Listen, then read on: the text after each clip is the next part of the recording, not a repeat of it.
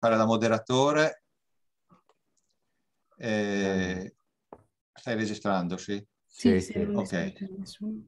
Eh, dicevo, avrei il compito di fare da moderatore, quindi mh, vi chiedo due cortesie. La prima, mh, nei limiti del possibile, di tenere il microfono spento quando non parlate, così evitiamo sovrapposizioni e anche interferenze. La seconda chiederei a tutti, soprattutto a tutti gli autori, ci siamo dati, l'avevamo anche scritto quando vi abbiamo mandato la mail di partecipazione, di stare nei dieci minuti per eh, l'esposizione, l'indicazione dei contenuti fondamentali dell'articolo, quello che ritengono di dire, anche perché siamo in molti a dover parlare e se no poi i tempi si allungano.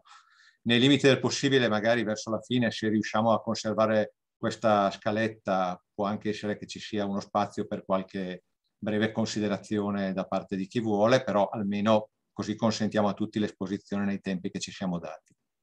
Allora, eh, detto questo, eh, io chiederei a Massimo di introdurre la serata con eh, le sì. considerazioni che ritiene e poi dopo man mano seguo la scaletta che avete visto sulla, eh, sulla locandina, salvo anticipare l'intervento di Costantino Marmo fra i primi. Prego Massimo. Allora, eh, ovviamente con i tempi che abbiamo eh, non posso fare un'introduzione. Io volevo dire qualche cosa su come è nata l'idea di questo fascicolo, però gli elementi che stanno, gli spunti che stanno alle spalle di questa idea sono talmente tanti che non so come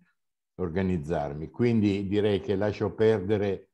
i discorsi troppo paludati, tipo tutte le discussioni sulla storia come narrazione, come finzione letteraria, e gli studi di White, di cui magari poi parlerà qualcuno degli autori. Dico in particolare quali erano le cose che muovevano me, cioè ehm,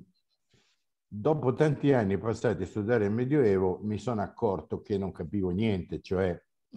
ma chi sono questi qua? Era questa la domanda, ma chi sono? Cosa fanno la sera?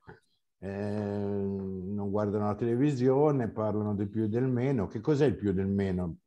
per loro? E, e come nascono i fatti di cui noi studiamo? Quindi non riusciamo, io no, personalmente no, non generalizzo, non sono in grado di ricostruire la catena dei fatti per spiegare perché lì è successa quella cosa. Non sono in grado di capire che persone sono quelle che, di cui studio il pensiero perché immagino che Tommaso d'Aquino non parlasse sempre come, come si esprime nella Summa Teologica. E, e allora c'era questa specie di ricerca della, della vita quotidiana, della vita, non quotidiana, della vita, anche perché si presta molto il Medioevo in quanto eh, di per sé sembra un romanzo d'avventure, cioè i personaggi medievali sono sempre circondati, cioè uno non può parlare di Carlo Magno senza immaginarsi una roba enorme, un mito. E, e, e allora l'idea era appunto cerchiamo di ricorrere alla finzione letteraria, vedere quelli che ci raccontano delle cose, che fondamenti hanno, sia quelli che ci raccontano delle cose nel Medioevo, sia quelli che ci raccontano delle cose sul Medioevo. In particolare faccio riferimento, in questo caso non è una ternità, di solito io dico di avere una ternità,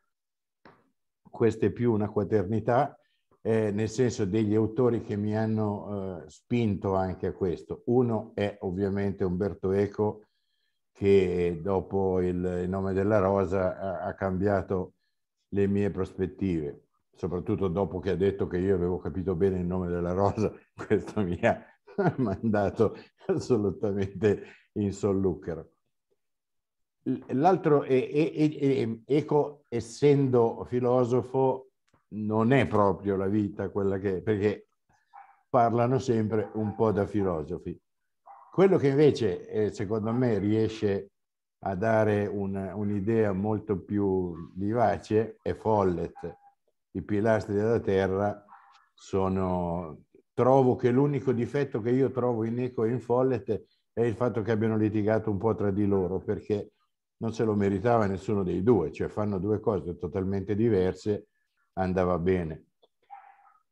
Il terzo è De Vol, che abbiamo scoperto in questo frangente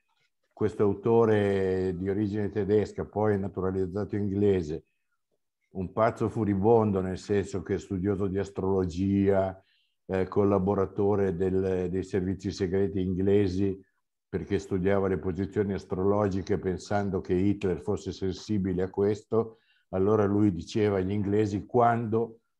l'astrologia era tale per cui Hitler si sarebbe sentito più debole, cioè una roba da pazzi. Pensare che la seconda guerra mondiale è stata vinta in parte per merito di Turing e in parte per merito di De Gaulle dall'idea di questa enorme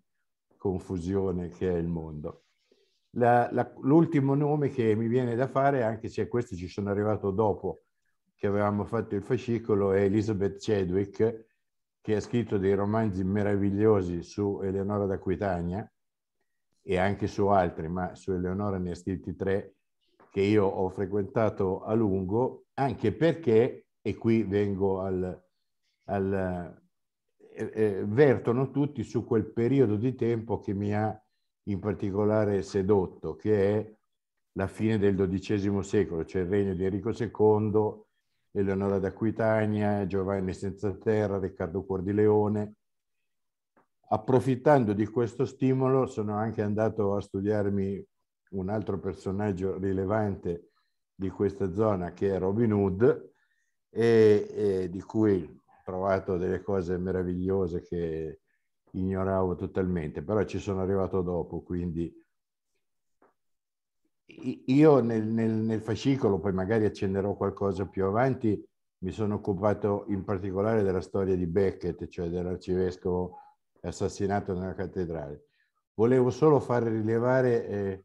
eh, due o tre cose che mi danno l'intrigo e la, come dire, la, la bellezza di quegli anni. Allora, uno è che in Ivanhoe,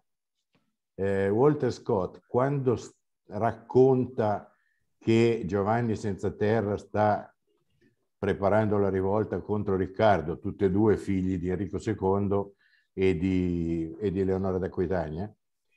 quando Giovanni sta preparando la rivolta per eh, ribellarsi a Riccardo, incarica un figlio di un tale Reginald Fitzurse, che non so assolutamente che fondamento abbia storicamente, credo che sia fondato storicamente, non, non che incaricasse il figlio, ma che questo, il padre esiste, perché il padre di questo qua è uno dei quattro che sono andati a Canterbury ad assassinare Beckett. E già qui io perdo, sono, sono tutto contento perché c'è questa cosa. Non solo, ma quindi questo lo, lo racconta Scott nel romanzo Ivanhoe, dove praticamente ci dà tutte le coordinate in base alle quali poi nel, nel resto eh, della storia abbiamo pensato a Robin Hood, perché è lì che Robin Hood raggiunge il suo massimo devo dire quanto sono stato felice di poter fingere di lavorare leggendo Robin Hood, Ivanhoe, che finalmente è come se uno mi dicesse il medico ti ha ordinato di fumare. Ah, finalmente. No? Ecco, e in, in, in, alcuni racconti riguardanti, in alcune delle, delle ballate di, eh, su Robin Hood, ce n'è, ce n'è una in particolare dove questo intrico si fa ancora più violento perché Robin Hood e Lady Marian sono rispettivamente amati e, e come dire, e, tentano di sedurli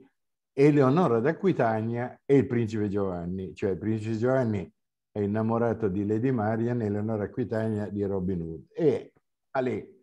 il XII secolo mi diventa finalmente una roba divertente. Naturalmente eh, l'assassinio di Beckett ci rimanda poi a tutto l'altro, l'altro aspetto, e cioè in particolare a, a, all'arcivescovo di Canterbury, cioè a, a Beckett che diventa arcivescovo di Canterbury, dopo essere stato molto amico di Enrico II e dopo aver avuto come segretario Giovanni di Salisbury, che è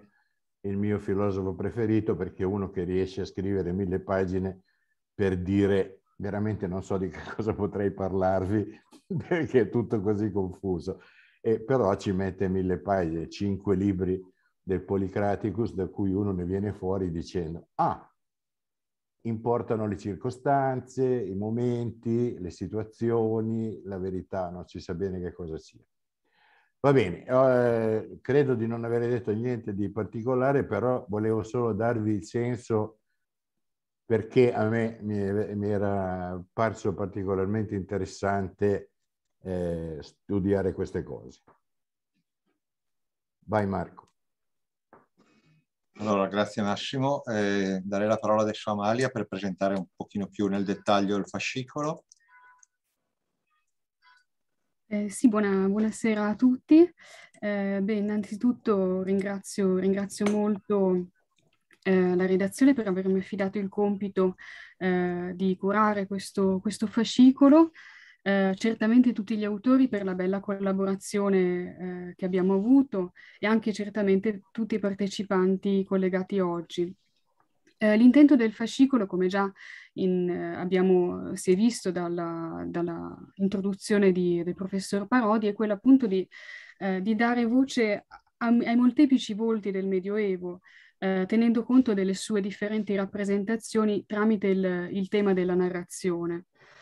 Anche perché eh, questo tema consente di individuare quelle forse eh, rappresentazioni di Medioevo che eh, in qualche modo hanno, hanno fossilizzato questa, l'immagine, la rappresentazione di Medioevo in alcuni stereotipi che appunto essere consapevoli delle narrazioni specifiche aiuta a ehm, individuare e eh, e, e, insomma riflettere su questi aspetti. Il Medioevo per cui ho osservato da due punti di vista principalmente in questo fascicolo,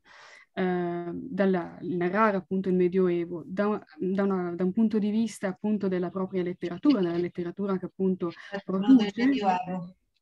la letteratura appunto con cui eh, si narra se stesso e dall'altra parte eh, il Medioevo che è oggetto da, di narrazioni eh, che appunto, come, come, dicevo, spesso hanno generato dei, dei pregiudizi, delle rappresentazioni eh, specifiche. Dalla, da come diceva anche il professor Parodi si comprende appunto anche un, un, po' la genesi di questo fascicolo che senz'altro ha avuto origine dalle discussioni della redazione, ehm, animate dal, dall'intento generale in fondo della, della, rivista che è quello di cercare di creare un dialogo, di eh, cogliere un dialogo tra gli studi medievistici, sia di ambito filosofico che di altri ambiti, e le domande che la contemporaneità ci pone. Poi certamente le discussioni, eh, le nostre discussioni hanno incrociato anche la scomparsa di Umberto Eco, eh, sempre presente nella, nel, nei nostri eh, riferimenti, insomma, che anche collaborò alla rivista nel, nel 2003 nel fascicolo dedicato alla metafora, metafora e conoscenza, eh, e fu anche chiaramente, eh, come ben noto, autore di, di romanzi di ambientazione medie- medievale. E il suo pensiero ha anche ispirato eh, un laboratorio che il professor Parodi mh, ha tenuto nel 2017-18 presso la Statale eh, sui romanzi di ambientazione medievale a cui hanno partecipato come relatori alcuni autori qui presenti, per cui una, si tratta di un insieme di di materiali eh, e di riflessioni che insomma sono confluiti all'interno eh, del, del presente numero. I temi che forse non sono rappresentati nel fascicolo, ma ugualmente significativi a livello della narrazione del Medioevo, che vorrei soltanto ricordare, eh, sono l'arte ottocentesca, la pittura, la, l'architettura, che hanno anch'esse delineato uh, delle narrazioni di Medioevo su cui appunto non abbiamo avuto modo uh, di approfondire, come anche l'ambito musicale, su cui però uh, nel, nel, 2010 abbiamo, è stato pubblicato il fascicolo numero 10, appunto dedicato ai rapporti tra musica medievale e musica contemporanea, dove si può in qualche modo um, individuare alcune,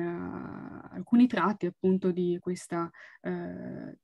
idea del narrare il Medioevo. E certamente tutti quegli ambiti appunto dei medievalismi che invece uh, a, sono stati espressi nel recente, nel recente ehm, convegno a cura anche del professor Marmo qui presente. Il fascicolo è articolato in quattro sezioni, come si vede specificamente nella edizione cartacea, eh, forse emerge meno in quella, in quella digitale. Eh, una prima sezione dedicata al Medioevo che si racconta, dove appunto si prendono in considerazione le narrazioni prodotte durante i secoli medievali, ce ne parleranno la professoressa Rossana Guglielmetti e il professor Marco Rossini. Una seconda sezione dedicata al, alle narrazioni storiografiche, eh, il discorso riguarda appunto il discorso storico sul Medioevo e ce ne parleranno i dottori eh, Gregorio Fiori Carones e la dottoressa Daphne Grieco, il dottor Damonte, Marco Damonte e il dottor Roberto Rossi. Eh, il, terzo, il terzo ambito, la terza sezione, riguarda invece i romanzi di ambientazione medievale come i fatti inventati o storicamente accaduti divengono oggetto di narrazioni letterarie. E qui interverranno i professori Costantino Marmo e Massimo Parodi, anche la sottoscritta. E infine l'ultima sezione molto interessante, le rappresentazioni del Medioevo eh, per come appunto si sono avute tramite le, le immagini del cinema, tramite controstorie anche, eh, vedendo la questione dei falsi, delle ucronie, delle mappe mundi, e per il cinema abbiamo, ehm, eh, ci, ce ne parlerà il dottor Luca Cardone, mentre invece le, la questione mh, dei falsi ucroni e mappe mundi, eh, su cui ha scritto il dottor Enrico Barberato, non, non verrà approfondita oggi perché l'autore eh, non, ha, non, è, non ha potuto partecipare. Eh, ringrazio quindi tutti e prima degli autori avremo un intervento del dottor Marzio eh, Zanantoni per Biblione Edizioni. Grazie ancora. Grazie Amalia. Eh, dottor Zanantoni, se vuole intervenire a, a proposito appunto della, come rappresentanza anche dell'editore, grazie. Eh, buongiorno, buongiorno, anzi buon, buonasera ormai, visto che guardo fuori, vedo il buio. Eh, buonasera a tutti. Eh, io eh, non, non, conosco personalmente molti dei, dei, collaboratori che vedo qui presenti, alcuni li conosco di nome, sì, forse in, in, in statale eh, eh, qualcuno posso averlo incrociato, ma eh, quindi mi è gradita l'occasione per salutare tutti i collaboratori presenti e eventualmente collaboratori futuri. Ora, il mio, io mi sono trovato, dico la verità, un po' in imbarazzo eh, eh, su, mm, vedendomi assegnato questo, seppur brevemente, questo tema delle narrazioni editoriali. Mm, lo, lo, svolgerei così. Eh, eh da un lato, il mio interesse, per, o meglio, eh, eh, l'interesse che avevo per, per il Medioevo, ehm, che passava attraverso effettivamente una ipotetica eh, produzione editoriale. Eh, dico questo perché l'autore su cui io mi sono laureato, eh, il mio ambito, chiamiamolo di studio, insomma, Massimo lo sa che ogni tanto mi diletto anch'io ancora in ricerca, è,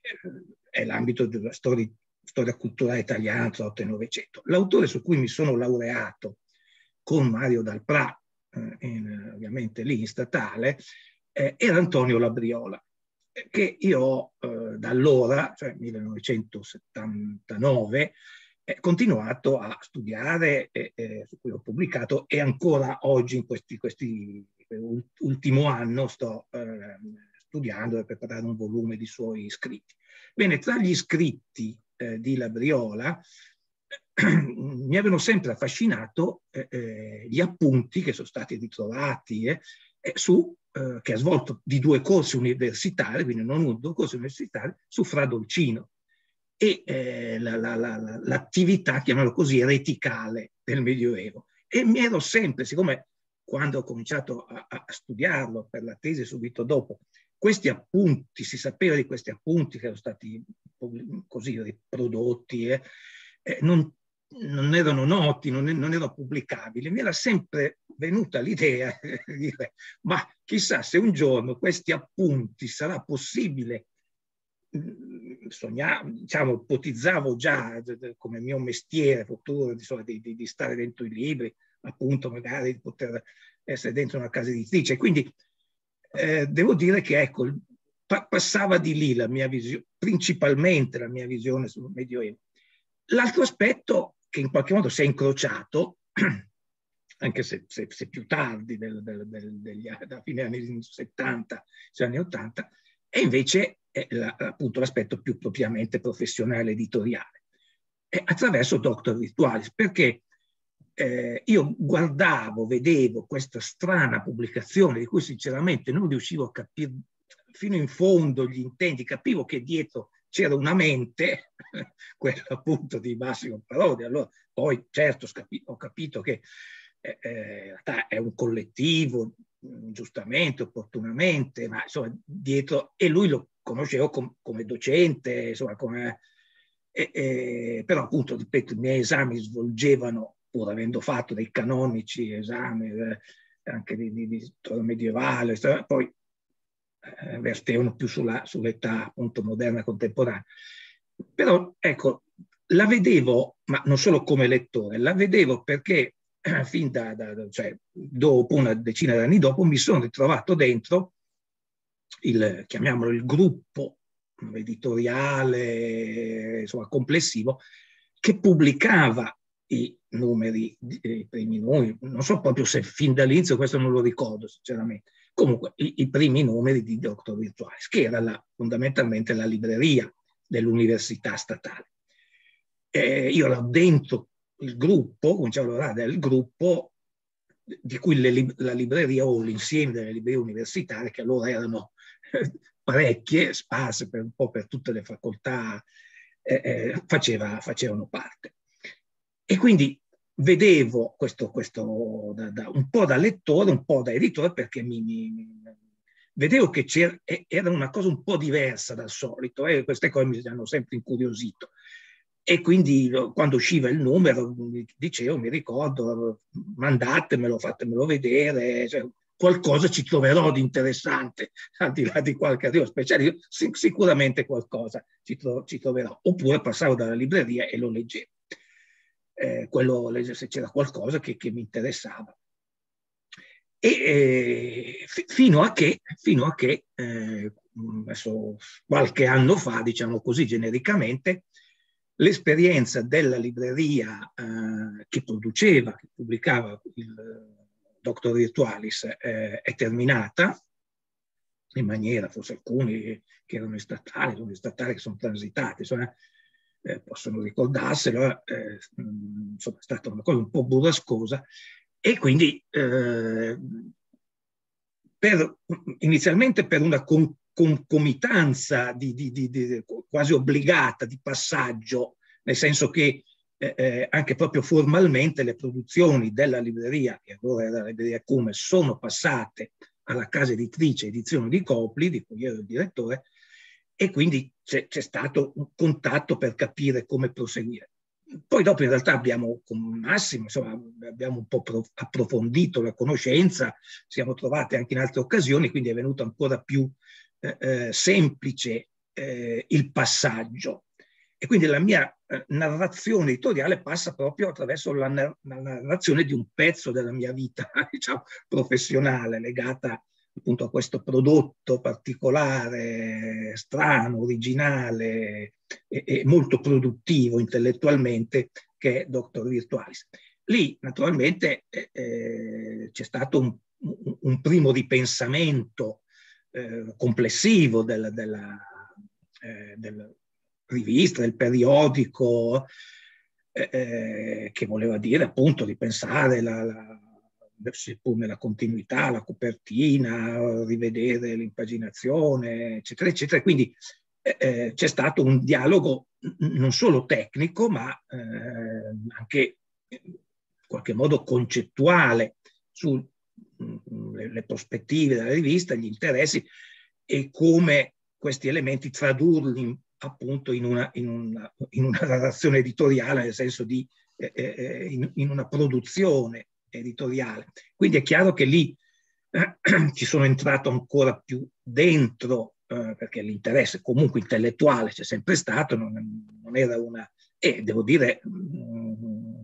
eh, eh, anche con piacere, c'è stato questo, questo, questo avvicinamento no, da parte mia perché, ripeto, eh, eh, c'era questo pregresso legato a, una, a, un, a, un, prodotto editoriale che mi aveva sempre incuriosito. Eh, fi, fino a che, e qui arrivo all'ultima fase te, e termino, fino a che eh, eh le vicende eh, di, di, di, editoriali legate alla eh, libreria che produceva il libro, alla casa editrice che produceva poi eh, lo stesso libro, o lo stesso prodotto editoriale, lo stesso periodico, eh, eh si sono concluse in vario modo e mh, mm, con Massimo e con mio mm, grande piacere si è eh, deciso di valutare la possibilità che è diventata concreta, potete vedere da questo primo fascicolo, eh, di continuare eh, non solo l'esperienza di dottor virtuale che comunque eh, continuerebbe indipendentemente da me, indipendentemente da, da, da, dalla situazione editoriale in cui si trova, perché ha un suo valore in sé naturalmente, ha un suo progetto e un allargamento felice, come ho potuto constatare, di eh, di energie intellettuali, di, di, di, eh, di dialettiche interne, eccetera. Ma ehm, eh, si è visto anche il rapporto, eh, che, che, naturalmente mi ha fatto piacere di, eh, posso dire, almeno da parte mia, di, di fiducia che si è creata eh, in, in, entrambi, di continuare con una nuova situazione editoriale che eh, eh, io mi auguro possa eh, avere, come già, già si è cominciato a parlare, eh, anche i prossimi numeri, eh, che, che, vedo, che so che sono appunto in preparazione, che quindi questa narrazione eh, personale, intellettuale, professionale e, e, e culturale anche da, da, parte mia possa, possa continuare. E qui mi, mi fermo. Grazie, dottor Zanantoni. Allora, come avevamo concordato in precedenza, do la parola a Costantino Marmo, anticipando il suo intervento per ragioni di impegni poi eh, suoi, e quindi chiedo a Costantino Marmo di parlarci appunto del suo articolo Filosofi, filosofie, medici e guaritrici in alcuni romanzi storici medievali. Grazie. Il microfono è spento. Il microfono è spento. Ok, okay adesso dovreste sentirmi, giusto? Ok, scusate, ma con queste non sono ancora abituato, si fa per dire. Eh, no, vi ringrazio molto per l'invito anche a parlare questa sera e mi dispiace aver obbligato uh, gli organizzatori a anticipare il mio intervento, ma eh, queste serate appunto sono, si stanno rivelando molto molto impegnative più di quanto immaginassi e quindi devo, devo andare a teatro. Ehm, è un'occasione, anche ringrazio tutti, anche chi ha accolto il mio intervento, perché è un campo per me relativamente nuovo, quello del medievalismo e dei medievalismi, perché eh, di fatto ci sono piombato un po' per caso e volevo raccontarvi un po' queste vicende. Eh, nel 2019 sono stato invitato dalla Società per sulle pensioni medievale a tenere il discorso di apertura eh, per il convegno annuale della società che si teneva a Porto, in Portogallo, e che era dedicato alle fictiones, alla fizione della filosofia medievale. Io no, ho accettato molto così eh, in, da, da incosciente eh, e, ehm, però ho pensato, ma perché, visto che non so nulla dell'argomento, non aggiungere anche un'altra cosa di cui non so assolutamente nulla? E ho fatto uno di quei giochini di parole alla Carlo Marx, dalla critica delle armi, all'armi della critica, alla critica delle armi, ho detto, ah, invece di parlare solo delle fizioni nella filosofia medievale, parliamo anche della filosofia medievale nelle, fi nelle fictions. e, quindi, e, quindi, è venuto fuori un, un ircocervo di intervento in cui una parte era dedicata al Medioevo eh, da, da, studioso della filosofia medievale e l'altra da eh, curioso diciamo così, del, uh, del, dei romanzi in cui si parla appunto eventualmente di filosofia. Ovviamente il nome della rosa non poteva mancare e, eh, e, e da lì è nato un po' tutto. Eh, questo intervento è un po' la continuazione, diciamo così, del, di quell'intervento, della seconda parte di quell'intervento con qualche studio in più, perché poi nel frattempo mi sono accorto che il medievalismo era una, una disciplina ormai riconosciuta a livello accademico e eh, tant'è che abbiamo appunto, Amalia ricordava poco fa questo convegno che abbiamo tenuto la settimana scorsa qui a Bologna, eh, intitolando appunto medievalismi, poi abbiamo aggiunto autunnali per fare l'occhiolino, strizzare l'occhio all'autunno del Medioevo, però era, era in tema. E, e quindi eh, mi sono trovato appunto ad avere molto materiale, perché quello che è successo è che da quando ho proposto questo tema all'allora presidente della società, Onorato Grassi, eh, mi sono messo a leggere eh, a sprombattuto centinaia, no centinaia forse no, però tantissimi romanzi cercando appunto spunti per questo intervento. E ne ho trovati tanti e eh, li ho messi molto più a frutto in questo, in questo intervento che non nell'altro. Che cosa ho fatto? La cosa che mi ha affascinato un po' è stata soprattutto una cosa che, a cui ha accennato anche Massimo, e cioè il fatto che eh, il romanziere eh, è obbligato in qualche maniera a, a descrivere le fattezze fisiche, a descrivere la, la concretezza, perché deve rendere eh, un ambiente, deve rendere, eh, deve dare carne e ossa in qualche maniera, anche se di carta, ai propri personaggi. E quindi quando menziona qualche, eh, qualche personaggio storico è obbligato a fare qualcosa a cui noi non saremo a parte che siamo poco interessati come storici della filosofia, ma eh, a cui eh, non potremmo mai attingere se non con una fantastica macchina del tempo che però non ci è ancora messa, stata messa a disposizione, non so gli scienziati cosa aspettino. E, ehm, e quindi c'è tutto questo, quello che ho fatto è fondamentalmente una raccolta delle descrizioni e eh, una piccola riflessione sull'eventuale funzione narrativa che queste descrizioni hanno all'interno del, de, delle varie situazioni, dei vari romanzi. Eh, perché appunto, eh, come molti di voi sapranno, io mi trovo eh, un po' a, a metà strada tra due ambiti di ricerca, la filosofia medievale, che è la mia passione originaria, quella che mi ha condotto a fare questo lavoro, e la semiotica che eh, deriva dal fatto che ho a un certo punto incontrato Umberto Eco e, e la cosa ha, ha, portato qualche risultato. E, ehm, e quindi ho cercato di mettere insieme le due cose non riuscendo a fare né il filosofo medievale, eh, cioè lo storico della filosofia medievale, né eh, il semiologo, perché poi non ci sono delle vere e proprie analisi eh, semiotiche, però ho raccolto, è una, un articolo, diciamo così, più di review, di eh, rassegna delle, dei vari romanzi in cui eh, filosofi, filosofe anche, medici, guaritrici, perché, mh, e anche mediche, non so quale sia il femminile di medico, ma penso sia qualcosa del genere, ehm, eh, agiscono e eh, in alcuni romanzi fanno anche investigazioni sono quindi ehm, protagoniste di indagini e quindi eh, ho trovato la cosa estremamente interessante. Ehm, ovviamente ho cercato, per quanto possibile, ma è una tentazione a cui è difficilissimo sottrarsi, di evitare il, il gioco del troviamo l'anacronismo, perché è poco interessante poi fondamentalmente, perché non aiuta neppure tanto a comprendere, eh, a comprendere, a valutare, ad apprezzare il, il, la narrazione storica, um, anche perché se cominciamo a parlare di anacronismi, e lo, lo raccontavo nell'ultimo convegno, l'anacronismo più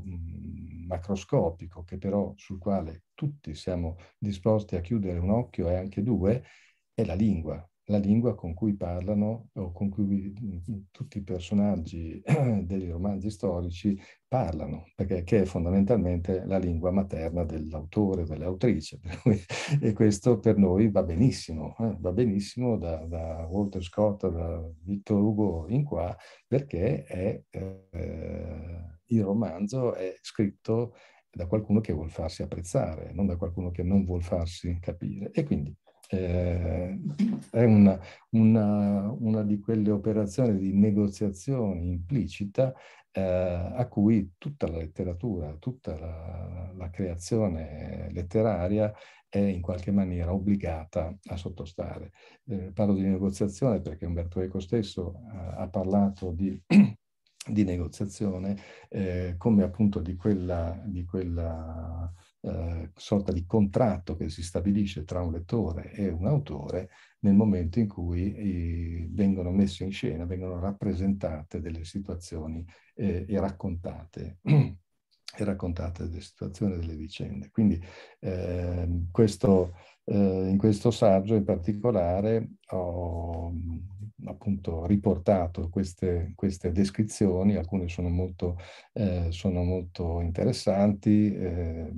a cominciare da quelle del nome della rosa, eh, ma ci sono anche appunto quelle eh, di Mondino De Liuzzi, per esempio, nei romanzi di, eh, di Angelo Colitto,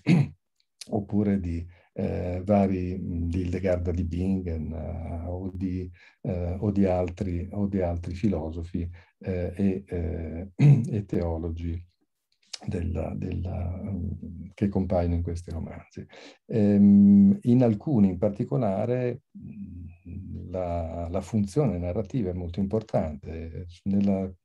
nella eh, collezione, diciamo così, nella serie dei romanzi dedicati a una filosofa, Catherine Levander, che è allieva di, di Eloisa al Paracleto e che eh, conosce anche Abelardo, interagisce con Abelardo nei primi quattro volumi, sono almeno sei o sette, se non ricordo male. Ehm, sia Abelardo che Eloisa fungono proprio da eh, coloro che mandano, che danno l'incarico agli investigatori per eh, risolvere una questione. E quindi per risolvere un mistero e una, una sorta di intrigo, ecco, di intrigo ai danni di Abelardo. E quindi svolgono la funzione che nella, nella seminarrativa è chiamata di destinante mandante, cioè quello che mette in moto tutta la, uh, la vicenda, la vicenda eh, e la, le strutture narrative fondamentalmente. E quindi eh, è una funzione tutt'altro che secondaria. Eh, naturalmente eh, si parla molto poco di filosofia ecco, in, questi, in questi romanzi, perché eh, la filosofia è mh, molto poco, diciamo così, appealing eh, per, per, il lettore medio a cui si eh, generalista, diciamo così, non specialista a cui si rivolgono di solito gli autori. E anche questo fa parte dei compromessi o dei, dei, dei, del contratto di lettura che l'autore o l'autrice stabilisce nei confronti, nei confronti dei propri lettori. Eh, quindi devo dire anche che rileggersi in questo caso non fa mai bene perché ci si trovano sempre degli errori, o degli, non solo quelli di stampa, ma anche proprio degli errori materiali e, e quindi eh, avrei preferito parlare di quello che ho fatto magari più recentemente o, o, che ho scoperto andando avanti perché poi appunto non mi sono, non mi sono fermato, però magari ve lo racconto un'altra volta. E vi ringrazio tantissimo per la per la ospitalità e per lo spazio che mi avete lasciato. Grazie. Grazie Costantino Marmo. Eh, darei la parola a Rossana Guglielmetti e il suo articolo Il santo che non ti aspetti, sorprese ed eccentricità nella geografia medievale. Grazie. Grazie e, e, grazie anche a Massimo Parodi e a Maria Salvestrini per avermi coinvolta in, in, questo esperimento che mi ha anche dato l'occasione una volta tanto di, di scrivere divertendomi. E, ecco, per cominciare a sintetizzare un po' il, i contenuti del, del mio articolo, comincio con una domanda. Che cosa hanno in comune Epifanio che fa morire un uomo per poterci fare sopra una battuta di spirito Brigida che fa sparire nel nulla un feto indesiderato dal grembo della madre, Breccan, un altro santo irlandese minore, che imbroglia sull'estensione del proprio patrimonio monastico, Procolo che premedita e mette in atto un omicidio. Ecco, hanno in comune che sono tutti santi, santi ufficiali della Chiesa Cattolica, anche per questo peraltro. Ecco, quando mi è, mi è stato proposto di eh, partecipare a questa riflessione eh, su come il Medioevo viene percepito e su come il Medioevo si racconta, rivela se stesso, mi è venuto abbastanza spontaneo rivolgermi al genere della geografia.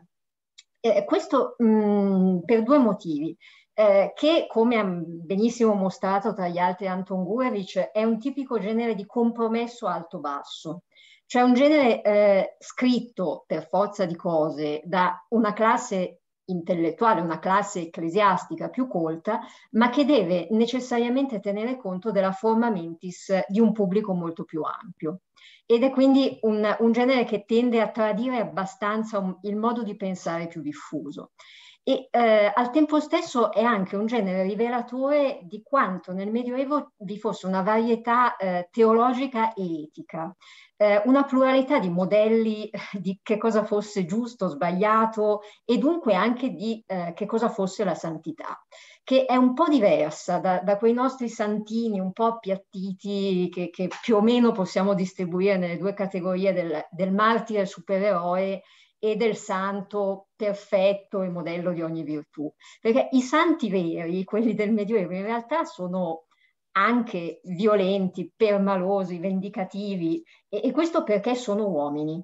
Eh, in cui i fedeli che ascoltano queste storie devono potersi riconoscere. Eh, mh, persone le cui logiche di comportamento devono essere evidenti anche appunto nella vita quotidiana dei non intellettuali comprese logiche come quella dell'offesa, ritorsione, eccetera. E del resto, a, a, cosa serve in fondo il santo, eh, almeno secondo me nel, nel contesto della, della, teologia, se non proprio ad avvicinare il sacro a tutti, anche a chi avrebbe più difficoltà a eh, rapportarsi con eh, con quell'idea inarrivabile che, che, è la Trinità, così, così astratta, così difficile. Il santo è più vicino.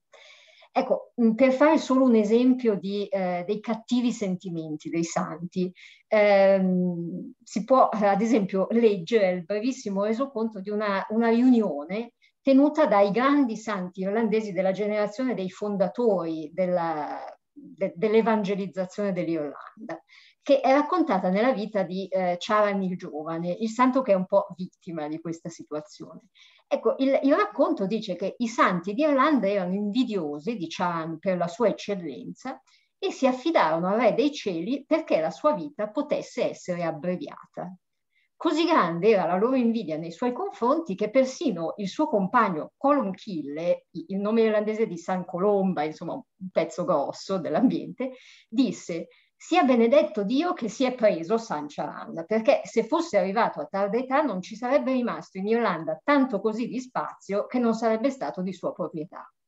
Cioè capiamo che questa specie di sinodo voodoo ha funzionato, perché effettivamente Charan muore, muore poco più che trentenne di peste. Ecco, questo è un caso un po' estremo che, che un po' sconfina nel grottesco, ma Altri casi sono più inquietanti, mm, cioè richiedono la, la, ricerca di ragioni più profonde per spiegare perché la narrazione su un santo possa prendere una piega eh, decisamente non convenzionale. E, e, torno allora a uno di quelli che citavo all'inizio, Procolo, quello dell'omicidio premedit premeditato. Eh, la leggenda è ambientata in età martiriale, ma in realtà eh, nasce a Bologna nella seconda metà del XII secolo e eh, quello che si inscena è il tipico scontro tra il campione della fede, che predica la nuova fede in un contesto pagano, e il prefetto, che rappresenta invece l'impero e il paganesimo, però con una variante rispetto allo schema solito, che prima di arrivare a essere arrestato e martirizzato, Procolo ordisce l'assassinio del suo mm, persecutore, eh, passa la notte ad affilare un'ascia e eh, la mattina dopo, dopo debita preghiera, gli stacca la testa. E tutto ciò va bene, va benissimo, poi lui sarà martirizzato, santificato e, e ecco, eh, glorificato anche per questo. Ma come fa ad andare bene? Ecco, e qui allora bisogna guardare appunto a quando e dove è stata scritta questa storia. Qui parliamo di una Bologna che è stata appena sconvolta da un fatto di sangue analogo. Eh, dopo la sottomissione al Barbarossa, eh, quando Federico riparte e torna in Germania, i bolognesi nel 1164 assassinano il, il vicario imperiale che eh, Federico aveva lasciato in città, eh, compiendo una sorta di tirannicidio per procura. E negli ambienti guelfi di Bologna quindi si crea questa storia, eh, questa controfigura del fatto di cronaca recente eh, dove un martire locale senza storia, questo procolo di cui si sapeva solo il nome, diventa il modello della reazione contro l'impietà dell'imperatore, della reazione tirannicida. Non è un caso certamente che questa Bologna sia anche uno dei luoghi dove per, insomma, ha avuto la sua prima diffusione e fortuna un'opera che è carissima anche a me, il Policraticus, che anch'io da, dal mio versante insomma, di filologo ho studiato molto e che con tutte le, le cautele, le sfumature, la, ecco, il meraviglioso neoacademismo di Giovanni di Solvori pone anche il tema del tirannicidio. Eh, ecco, insomma, anche in questa storia possiamo vedere come eh, la geografia testimoni dei valori eh, fluidi, dei valori forzabili in direzioni anche impreviste. Eh, e questo non solo quando appunto risponde al compromesso con le aspettative di un pubblico più basso, ma anche quando è prodotta in un ambiente più alto. E eh, in, per concludere, ecco, come idea generale, ehm, io sottolineerei anche questo, che la geografia è un'ottima testimone di eh, di una libertà e di un'audacia di espressione che non è il cliché che più normalmente si accosta al Medioevo. Eh, chi non studia il Medioevo ma ne, ne, sente parlare un po' così per sentito dire, ne ha un'idea più superficiale, eh, tendenzialmente gli proietta sopra un'immagine di costrizione, di rigidità dottrinale che, diciamocelo, in realtà è un po' più della, dell'età moderna, ecco, arriva un po' dopo. Se lasciamo che il Medioevo parli per sé, eh, beh, scopriamo una polifonia inaspettata e, e spesso un po' spiazzante. Grazie. Grazie. Eh, adesso io sono nella situazione imbarazzante che do la parola a me stesso perché siccome l'autore successivo sono io, quindi eh, vi presento alcune idee dell'articolo che ho scritto che si intitola Nudità e pazzia, la rottura francescana tra geografia e narrazione. L'obiettivo era un po' quello di ricostruire il modo in cui è stata raccontata la figura o la vicenda di Francesco d'Assisi, servendosi da un lato delle biografie e quindi ricollegandomi a quello che diceva adesso eh, Rossana Guglielmetti, anche le agiografie che sono state composte eh, nell'immediatezza della, eh, scomparsa di Francesco, quindi a partire da Tommaso da Celano fino ad arrivare a Bonaventura, ma dall'altro e quindi utilizzando quello che Giovanni Gradomerlo ha chiamato il francescanesimo letterario e dall'altro lato utilizzando una serie di romanzi contemporanei di autori che hanno eletto Francesco a eh, protagonista dei loro romanzi, dei, dei loro racconti o anche delle loro opere teatrali. Non ho per nulla considerato né le opere filmiche né eh, le opere, diciamo, pittoriche perché sarebbe diventato troppo vasto. Mm, per fare questo naturalmente è necessaria una grande cautela perché, eh, l'ho detto anche nel, nell'articolo, Francesco rischia di essere nella stessa condizione eh, dell'autoritas secondo l'anno di Lilla, cioè avere il naso di cera e poter essere piegato da una parte e dall'altra e proprio Gradomerlo nel, nel sua, nella sua ricostruzione su Francesco eh, mette in, in, evidenza come è possibile trovare il Francesco verde, rosa, rosso, nero, littoriale, femminista, c'è di tutto ovviamente. Quello che io volevo seguire era invece un po' il personaggio Francesco che mh, non si appiattisce sulla storia documentale e però in qualche misura con la storia documentale ha a che fare. E, e partendo da queste ipotesi ho tenuto conto che non sono uno specialista degli studi francescani, eh, e che il dossier francescano è a dir poco enorme lunghissimo e credo non dominabile ormai da nessuno, eh, ho cercato di individuare una, una visuale eh, utilizzando una, una serie di termini che stavano sostanzialmente fra di loro in sequenza. I termini sono nudità, sequela Cristi e povertà, che costituiscono a mio avviso, e riprendo ancora il, la parola da, da Merlo una sorta di fondamento trascendentale del francescanesimo.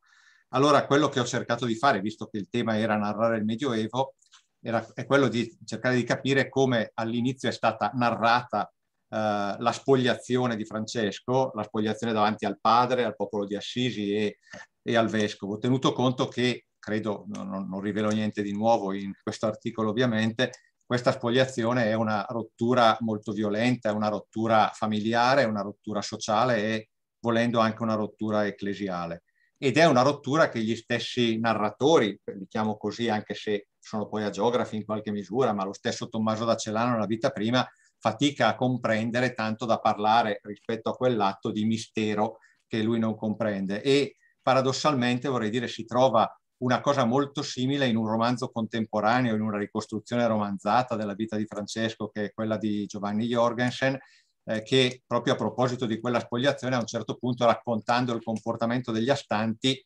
dice che con un moto istintivo gli astanti si alzarono, quasi a riconoscere la santità anche senza comprenderla. E qui direi nella ricostruzione della biografia c'è una sorta di tessuto anche biblico, il riferimento a Isaia, l'ascoltate ma non comprenderete, osservate ma non conoscerete. Ecco, quell'evento della, dire, della spogliazione,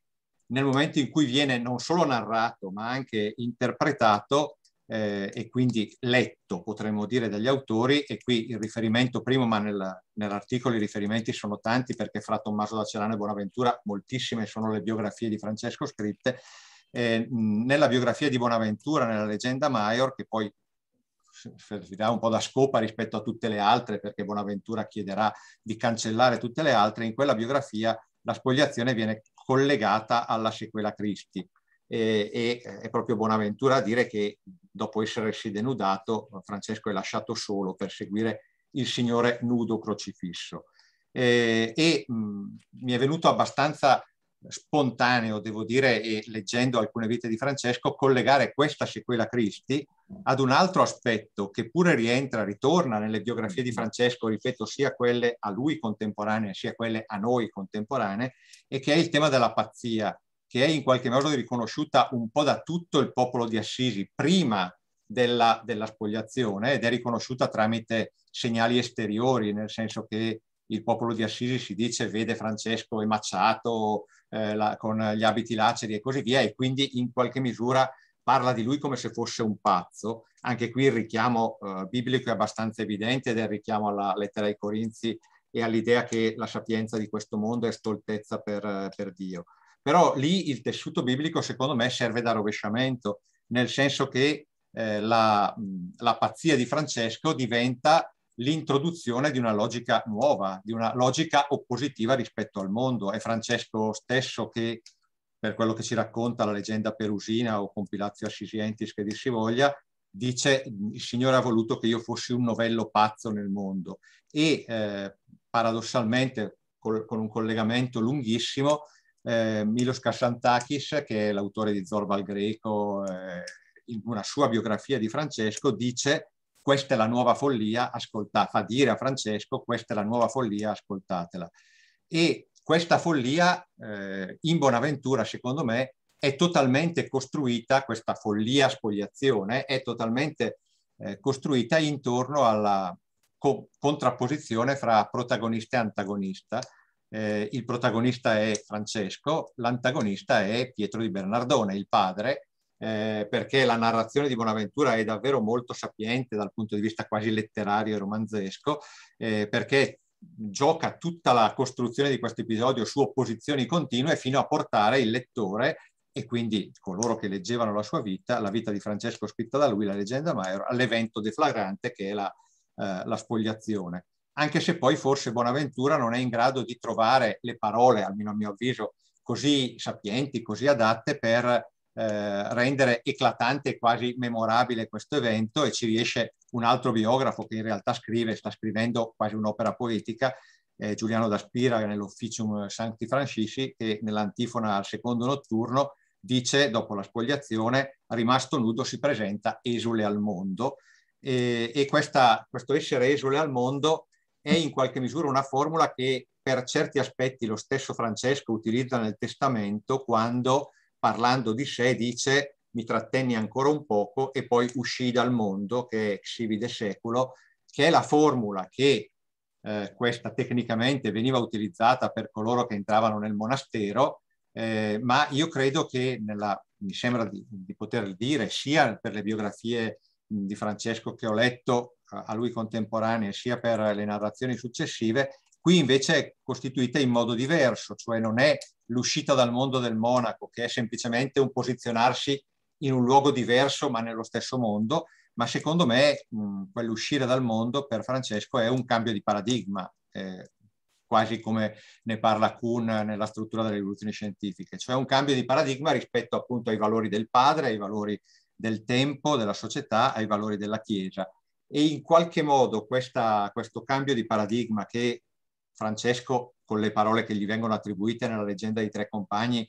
utilizza rispondendo al vescovo di Assisi che gli dice ma la vostra vita è molto dura, non possedete nulla e Francesco risponde, qui lo leggo perché mi sembra un pezzo anche molto bello, messere se avessimo dei beni dovremmo disporre anche di armi per difenderci e dalla ricchezza che provengono questioni e liti e così viene impedito in molte maniere tanto l'amore di Dio quanto l'amore del prossimo. Per questo noi non vogliamo alcun bene materiale a questo mondo. Ecco, mi sembra che qui ci sia in qualche misura, ed è l'ultimo termine, avevo detto nudità, se creva Cristi, pazzia, ci sia in qualche misura il senso più profondo della povertà, che non è semplicemente la rinuncia ai beni, come poi eh, è stato anche, ma è anche la rinuncia al potere, all'affermazione di sé, la rinuncia in qualche misura alla, alla propria centralità. Una sorta di spoliazione che mh, Cacciari nel suo testo su Francesco eh, letto da, da, Dante e da Giotto, paragona in qualche misura alla chenosi divina, cioè alla, alla sottrazione di Dio. E eh, mi è sembrato molto, molto bello eh, vedere, sempre nel romanzo di Kazantakis, il fatto che mh, quando ricostruisce, e io ne parlo nell'ultima parte dell'articolo, la perfetta Letizia o la vera Letizia, che è un episodio bellissimo che andrebbe letto per intero e forse nella versione che ne danno i fioretti di San Francesco, perché lì è addirittura quasi drammatizzato. Però Kazzantaki si ricostruisce questa vicenda e in questa vicenda sono in due, frate Leone e Francesco, che vengono entrambi battuti dal portinaio che non li riconosce. E alla, al, al fatto che Francesco dice a frate Leone non intervenire, lasciati battere perché è Dio che lo vuole, frate Leone prima dice no, fratello Francesco non mi lamento, però noi siamo esseri umani, tu te lo dimentichi troppo spesso, e subito dopo dice colpiscimi fratello partinaio, dice eh, colpiscimi pure, ma che Dio ti maledica, perché in realtà la logica di Francesco sembra essere una logica per certi aspetti inumana a frate Leone, è il collocarsi nel mondo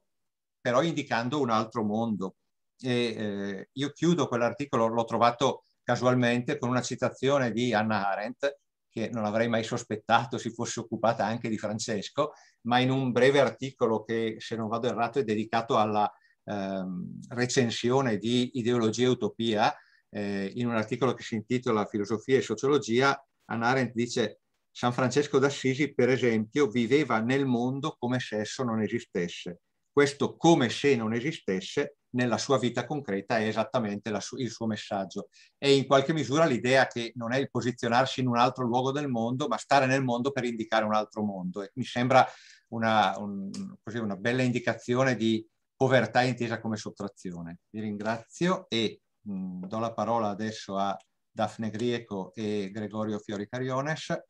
per presentarci il loro articolo per un medioevo plurale Global Middle Age e Federico II. Grazie.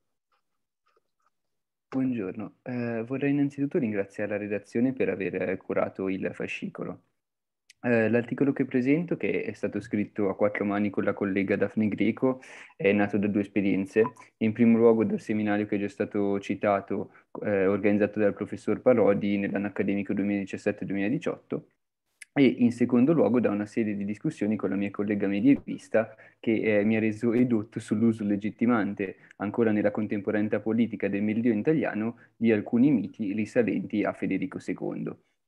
Eh, nella genesi dell'articolo abbiamo si è quindi cercato di conciliare un discorso più filosofico eh, concernente lo statuto e il ruolo della narratività nella ricostruzione storica, con il caso storico concreto osservato da una prospettiva meramente storiografica. Quindi non abbiamo analizzato delle fonti primarie, ma solo delle fonti secondarie.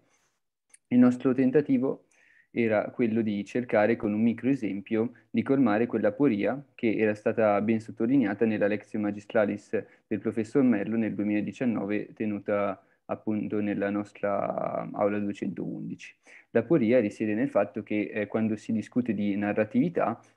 eh, comuni- viene comunemente citato un corpus di filosofi che prima comprendeva eh, Croce e Hegel e adesso comprende più che altro White e Ricoeur. Raramente, salvo alcune eccezioni molto importanti, pensiamo a Carr, Ginsburg o Evans, eh, si è dato la parola agli storici, ignorando il fatto che ehm, una ricerca del significato del concetto di narratività e delle sue applicazioni non può essere composta solo da un tentativo necessario di legittimazione epistemologica di questa forma, forma eh, argomentativa e narrativa, ma ha bisogno anche di casi concreti, di casi del particolare a cui rapportarsi. Eh, dopo questa premessa, diciamo che il nostro articolo si sviluppa eh, in tre sezioni differenti. Eh, le, prime, eh, le, prime, due eh, verranno introdotte da me, l'ultima dalla mia collega. Eh, nella prima si fa ricorso ad una serie di definizioni del concetto di narratività eh, a partire da due storici contemporanei, eh, Lawrence Stone, quindi il suo articolo liminale del 1979, e l'altro di Lynn Hunt, che è una storica modernista e che ha pubblicato un fortunato libro nel 2014. Eh, ho quindi voluto fornire una sorta di mappa che è inevitabilmente parziale e prospettica, eh, centrata su autori del mondo anglofono o francese, eh, perché? Perché sono relativamente più citati nel dibattito sulla global history che eh, si è sviluppato più che altro nel mondo anglofono. Eh, la seconda sezione invece eh, si concentra sulla presentazione del paradigma dei Global Middle Ages, che a nostro avviso presenta due meriti che allo stesso tempo costituiscono anche le maggiori criticità eh, per, per, un'applicazione estensiva di questo paradigma, almeno agli occhi di uno storico europeo il cui lavoro è imprescindibile dal vaglio delle fonti. Eh, la nostra posizione generale, che è giusto esprimere nel momento in cui si parla di narratività e storia, è che la storia è sempre esplicativa, per eh, riprendere la differenza che è stata citata in un altro articolo, non è mai eh, solamente descrittiva perché una storia descrittiva forse è più a carattere erudito che a carattere storico, secondo eh, la nota definizione di Ginsburg. Eh, lo storico, sempre secondo il nostro avviso, sempre secondo, a, nostro avviso eh, non può mai stabilire eh, dei nessi causali necessari definitivi, ma può affermare cosa non è stato e come non è ragionevole legge, legge, leggere alcuni avvicendamenti storici limitatamente a fonti disponibili e analizzate, quindi ha una funzione negativa ma imprescindibile. Tornando ai meriti dell'approccio global, vi è sicuramente di positivo il fatto che eh, vi sia un tentativo di espandere il concetto di medioevo al di là dell'orizzonte europeo, eh, non per imporre, come è stato fatto in ottica eh, europea e colonialista, una periodizzazione marcatamente europea, ma eh, per eh, rendere ancora più difficile giustificare il paradigma teleologico della modernità.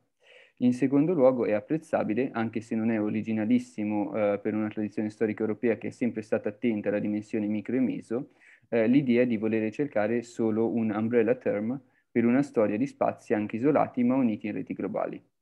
La grossa problematica che qui si schiude e che causa dello scarso successo, almeno per il momento, di questo paradigma è dovuta al limitato numero delle fonti in paesi senza quell'investimento che è secolare istituzionalizzato nella costruzione della memoria e della storia, eh, che rende, così come è facilmente immaginabile, difficile verificare delle ipotesi di lavoro che rimangono a un carattere troppo micro. Eh, la terza sezione viene quindi introdotta, eh, terza sezione viene quindi introdotta dalla mia collega, qui c'è la parola. Grazie mille, ne approfitto per eh, ringraziare tutti quanti, tutti gli organizzatori per questo bel incontro e per averci accolti. E dunque, eh, insomma, come appunto già anticipato da, dal mio collega da Gregorio, ehm, ci siamo mossi lungo questi assi di ricerca E, mh, abbiamo deciso appunto per sostanziare questo discorso, questa impalcatura teorica, eh, di portare un esempio e mh, diciamo come anche un po' ricordava eh, Massimo Parodi all'inizio, abbiamo scelto una figura molto emblematica come, come può essere anche quella di un Carlo Magno, Federico II, su Federico II è stato scritto di tutto e mm, c'è una forte tradizione anche mitica sulla sua uh, figura. Eh, dunque, le ragioni di, di questa scelta, eh, visto che il tempo insomma è, è, breve, non potrò illustrarvi diciamo, l'articolo in sé per sé, proverò un pochino ad illustrare quelle che sono le ragioni della nostra scelta. In primis, ehm, il primo motivo è stato il, l'inserirsi di Federico II all'interno di vaste ehm, aree geografiche, eh, reti ehm, culturali e politiche, quindi proprio anzi geopolitiche. Eh, un po' per il suo background, insomma, diciamo familiare, quindi la sua eredità normanna, la sua eredità tedesca, l'essere contemporaneamente re di Sicilia e ehm, imperatore.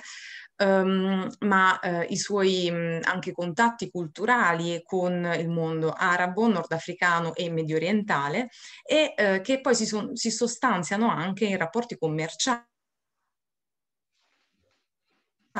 c'è un, un, recente articolo che ad esempio che abbiamo citato nel nostro studio che parla di, um, dimostra come uno dei doni che eh, il sultano eh, fece a Federico fosse eh, un um, pappagallo proveniente dall'Australia. Eh, quindi mh, Federico II aveva di solito um, animali esotici presso la sua ehm, reggia palermitana, quindi insomma questo per rendere un po' l'idea anche eh, delle reti commerciali. Eh, oltre che ehm, degli spazi ci siamo inter- per gli spazi ci siamo interessati a Federico anche eh, proprio per la precoce costruzione eh, mitica intorno alla sua figura che ehm, precede quasi la sua eh, nascita. Su questo argomento ehm, una rinnovata stagione di studi eh, a partire dagli anni 90, ma poi soprattutto ehm, a partire dal 2005-2010 circa, eh, si, si, sono concentrati molto su questo aspetto, eh, in particolar modo Fulvio delle donne, ma anche eh, Marco Brando, con, eh, che ha un bellissimo titolo, il suo libro, L'imperatore nel suo labirinto. E in effetti questa costruzione mitica ehm, ha fortemente con, condizionato tutta la tradizione successiva, eh, la tradizione di studi però. Um, infatti la terza ragione per cui abbiamo scelto Federico II uh, per fare i nostri diciamo, sondaggi è questa sovrabbondanza di produzione scientifica di vario segno uh, intorno alla sua figura e uh, abbiamo cercato di vedere come questi tre aspetti, quindi la spazialità, um, la, questa mitopoiesi e um, l'occhio storiografico si in, intrecciassero tra di loro. Um, um, un, esempio, esempio, un esempio può essere um, la, il concetto di um, tolleranza, tra virgolette, che appunto non è una, sicuramente una categoria concettuale che può essere applicata per eh, insomma, quel periodo uh, specifico e né tantomeno per Federico, uh, anche fatti alla mano,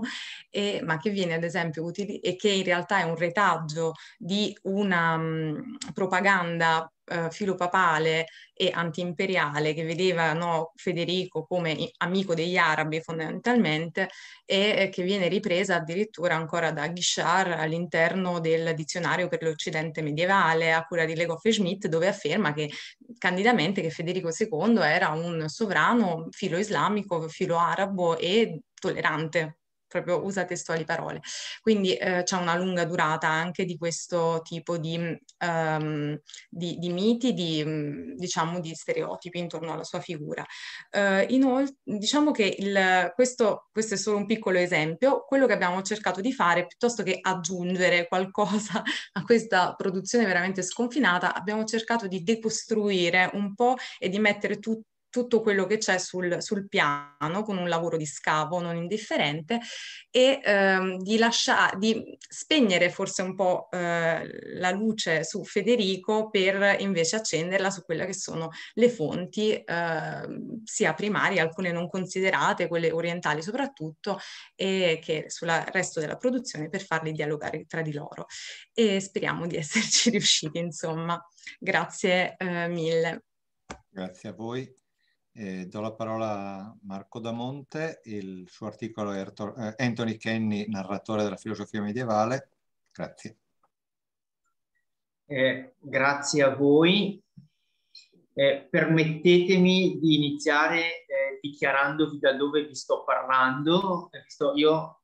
diciamo così, il mio riferimento è l'Università di Genova, in particolare io sono di Varazze, che, come dire, è la patria insomma, storicamente un po' eh, dibattuta, ma dovrebbe essere la patria forse del maggior agiografo e del maggior narratore medievale del Medioevo, cioè di Jacopo da Varagine, visto che abbiamo appena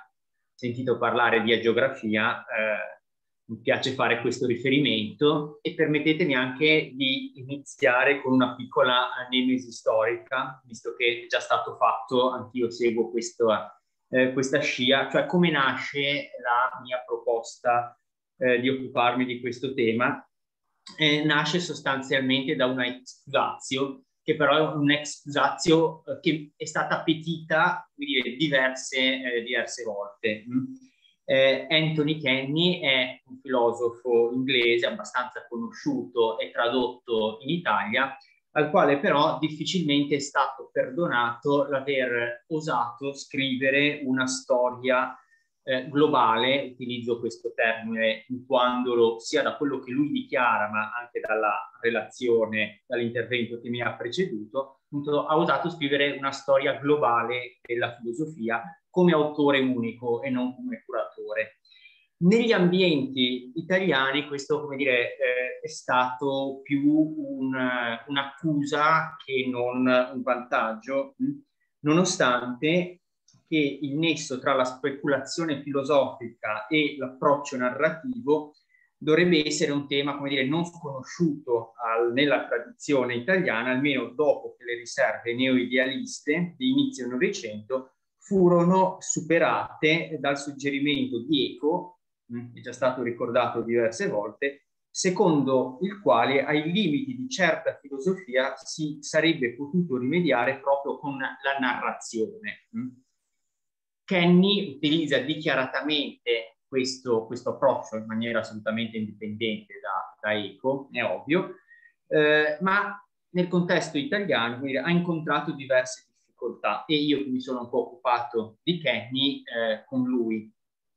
Eh, Kenny è di solito conosciuto anche per essere un po' il padre fondatore di quello che è stato definito eh, tomismo wittgensteiniano. Mm? Ed è per questo, come dire, che mi sono permesso diverse volte di eh, intervenire eh, nei dibattiti riportati poi da Dr. Virtualis, di cui ringrazio eh, il, eh, il, direttore in, in questa sede. Eh. Dr. Virtualis e Tomismo Wittgensteiniano mi sembrava, come dire, che fossero due espressioni quasi un po' simoriche, ma molto, molto convergenti. La domanda che mi sono, che mi sono posto quindi può essere eh, sintetizzata in questo modo. Eh? Che cosa succede quando ci si accinge a scrivere una storia della filosofia considerandola come una narrazione? Mm.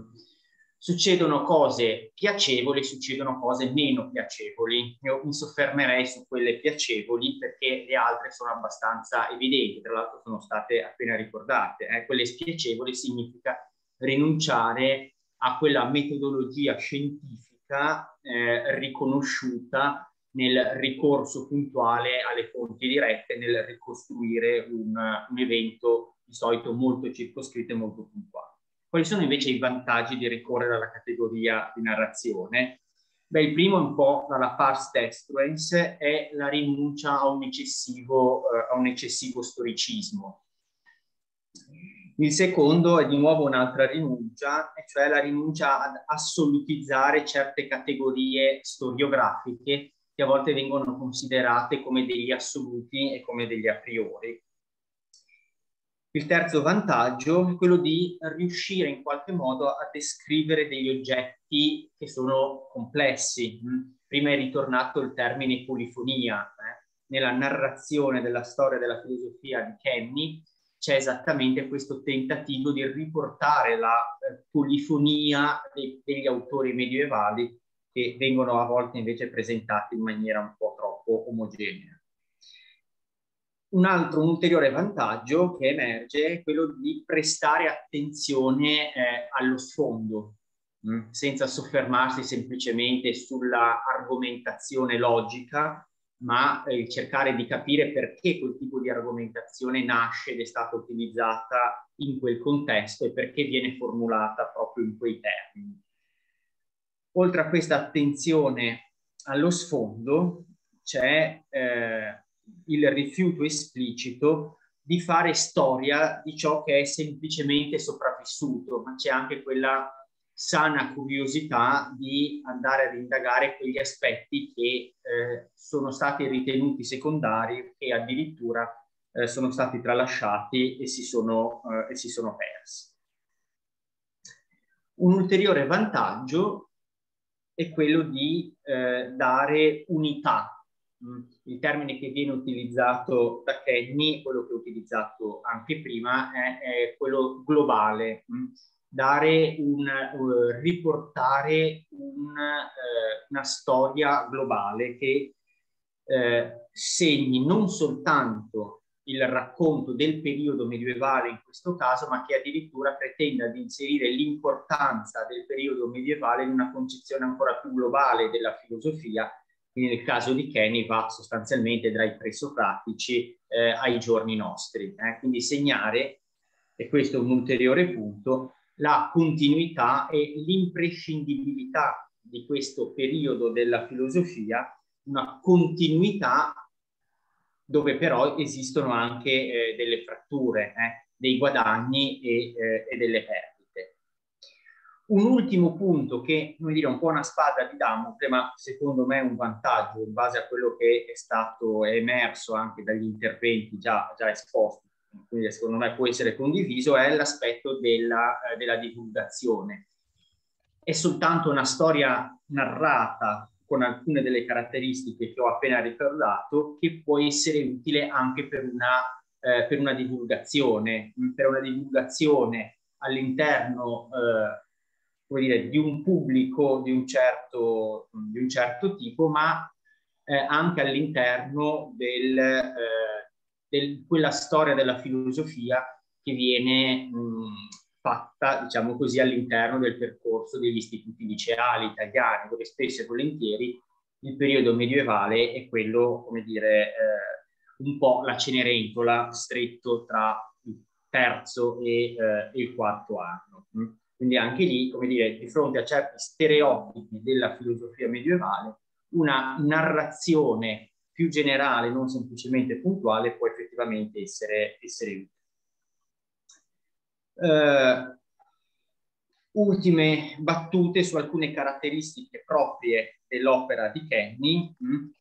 non, il cui valore lo si può riconoscere se capiamo quali sono le due principali fonti che lui tra l'altro dichiara. Mh. Mm. Da una parte c'è quella, c'è la storia di Bertrand Russell mh, mm, e Dall'altro lato c'è invece, ci sono i sei corposi volumi della storia del eh, gesuita Copleston. Mm. Eh, Kenny dichiara di ambire a trovare una mediazione tra queste due, eh, tra queste due modalità. Mm. Ciascuno, dice Kenny, ha i suoi vizi e le sue virtù. Russell è brillante, ma storicamente inaffidabile. Copleston è impeccabilmente giudizioso ma uniformemente pedestre. Idealmente uno storico della filosofia dovrebbe avere lo spirito di penetrazione di Copleston e scrivere come Russell. Purtroppo, un po' di falsa modestia, un po' di humor britannico, non ho nessuno di questi due doni. Non posso competere con l'esaustiva completezza di Copleston né imitare l'incomparabile stile di Russell che gli è valso il premio Nobel per la letteratura. Mi sono posto un obiettivo più modesto, essere più accurato di Russell ed essere più eh, accattivante di Coppeston. Mm. Lascerò a voi decidere se l'obiettivo di Kenny è stato raggiunto e vi saluterei con le due metafore che lui suggerisce per accostarsi alla storia della filosofia. Mm. La prima è quella della cattedrale medievale. Lui dice la storia della filosofia medievale assomiglia a una cattedrale medievale perché per la sua edificazione c'è stato bisogno di una serie innumerevole di artigiani il cui nome spesso è, eh, è sconosciuto. Mm? Eh, ciascuno ha avuto dei meriti, ma nessuno ha preteso di arrogarli, eh, arrogarli a sé. Mm? La seconda metafora invece è quella della catena montuosa. Mm? Tommaso, dice Kenny, a mio modo di vedere, può considerarsi a buon diritto come il filosofo più rappresentativo dell'età medievale al suo apogeo. Ma egli non è che la vetta più elevata di una catena montuosa che presenta varie altre cime splendenti. La filosofia medievale è soprattutto un continuum e quando se ne legge un singolo esponente, che si tratti di Abelardo, di Tommaso e di Occam, non si fa che saggiare in modo parziale un processo che ha, non ha soluzione di continuità. Presto si impara che tra due vette maggiori ve ne sono sempre di minori, che pure non vanno trascurati. Tra Tommaso e Scoto, per esempio, c'è Enrico di Ganda e tra Scoto e Occam c'è Enrico di Erclay. Mm. Eh, per raggiungere, dire, per tentare di descrivere questa costruzione della cattedrale o questa catena montuosa, eh, Kenny utilizza eh, un, un, doppio racconto. Nella prima parte del suo volume il racconto vorrebbe essere cronologico. Ora non sto a, a fare un'indagine, dire, sul, sulle cronologie che lui e le sue due fonti principali utilizzano. Eh, all'interno di questo racconto cronologico lui presenta anche alcuni elementi biografici che reputa interessanti e nella seconda parte invece fatto, eh, vengono saggiati alcuni temi specifici che vengono approfonditi e laddove nella prima parte eh, veniva sottolineato l'aspetto della continuità, in questa seconda parte per ogni tema si fa vedere invece come esistano eh, delle discrepanze anche notevoli fra, eh, fra i diversi eh, autori. Mm. Esiste anche un capitolo, per esempio, di filosofia della religione dedicata a Dio, che ovviamente vedo la presenza tra noi della professoressa Bartolomei, con la quale si può non essere molto d'accordo, perché questa coincidenza fra riflessione su Dio, ad esempio, e filosofia della religione, è un po' discutibile. Però anche in questo capitolo eh, Kenny fa bene emergere quale sia la pluralità che non possiamo rinunciare eh, di comprendere propria della filosofia medievale. Vi ringrazio. Grazie. Do la parola a Roberto Rossi, il suo articolo Tra romanzo e rivoluzione, il millenarismo medievale sotto la penna di Umberto Eco. Grazie. Buonasera a tutti e ringrazio tutta la redazione di Doctor Virtualis per, appunto per, per aver organizzato anche questo momento di confronto, di condivisione del lavoro svolto in occasione del, del numero della rivista a cui ho potuto partecipare. Una partecipazione che è nata mh, durante un po' mh, delle occasioni già citate, che è quel seminario, cioè un altro seminario di, del professor Parodi, questo è incentrato sulla filosofia medievale di Umberto Eco, e, a cavallo appunto tra i testi saggistici e, i, e la produzione romanzesca. Questo mi sembra del 2016 se non ricordo male, però potrei sbagliarmi adesso magari la memoria mi inganna. Però il, il testo che, da cui è partita quindi questa riflessione che appunto mette a fianco il mondo del romanzo, il mondo della finzione narrativa a quello del, dell'immaginario della rivoluzione, intrecciando quel tema tutto medievale che invece è il racconto apocalittico, l'attesa del millennio, e quindi eh, più, fa parte di uno stereotipo medievale, ecco il testo uh, principale di partenza è stato il, la quella che oggi è pubblicata da Bompiani come l'Apocalisse di Beato, eh, nel 2012 sotto questo titolo e invece in prima edizione edito per uh, Franco Maria Ricci nel 63 con il nome di Palinsesto di Beato. E, um, un po', quindi l'articolo ragiona su come Eco affronti questo stereotipo del Medioevo, quello che lui indica invece nelle die- nei dieci modi di sognare il Medioevo come un po' questo è il Medioevo dell'attesa del millennio, attesa che ha ossessionato in modi diversi ogni secolo, dai concilioni ai terroristi, dai fraticelli agli ecologisti. Quindi un, una sorta di immaginario onnicomprensivo che si ripercuoterebbe di generazione in generazione attraverso tutta la storia occidentale. Ecco, mh, una cosa interessante lavorando, l'altro in lavorando in un'epoca difficile, sul, eh, non sul palinsesto, ma purtroppo sull'Apocalisse di Beato, che era l'unico delle due versioni facilmente reperibili in un regime di lockdown, perché c'era questo elemento, l'articolo è stato scritto proprio in un momento dove il, un testo di Franco Maria Ricci può essere molto difficile da procurarsi a biblioteche chiuse. E, e quindi dovuto, ho, dovuto lavorare in prima, prima fase su questa Apocalisse di Beato che eh, di fatto è tutto un testo che si incentra su un commentario dell'Apocalisse del, dello, dell'ottavo secolo, potrei sbagliare, dell'ottavo nono secolo, eh, dell'ottavo secolo, ecco, e, ehm, che, eh, in cui mh, mm, Eco ragiona tanto sulla,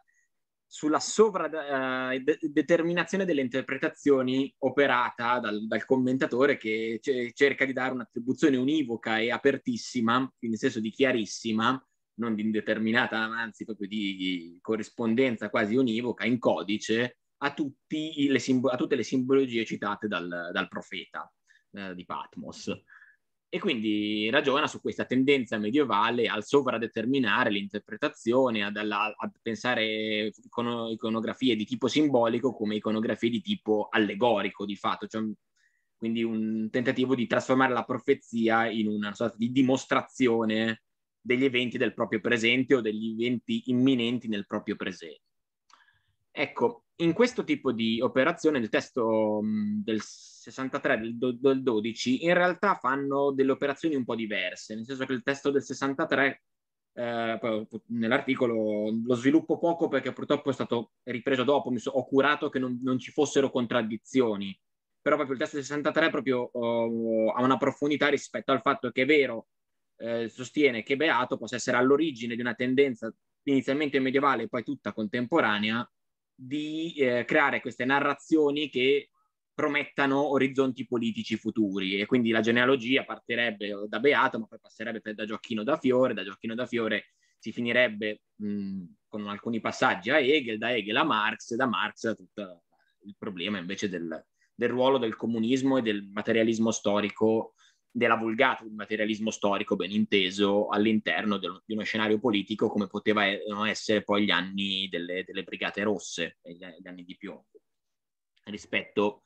a come questi racconti, queste promesse potessero muovere una militanza politica uh, verso anche orizzonti di tipo uh, meno moderato, mettiamola così, di tipo di politica radicale.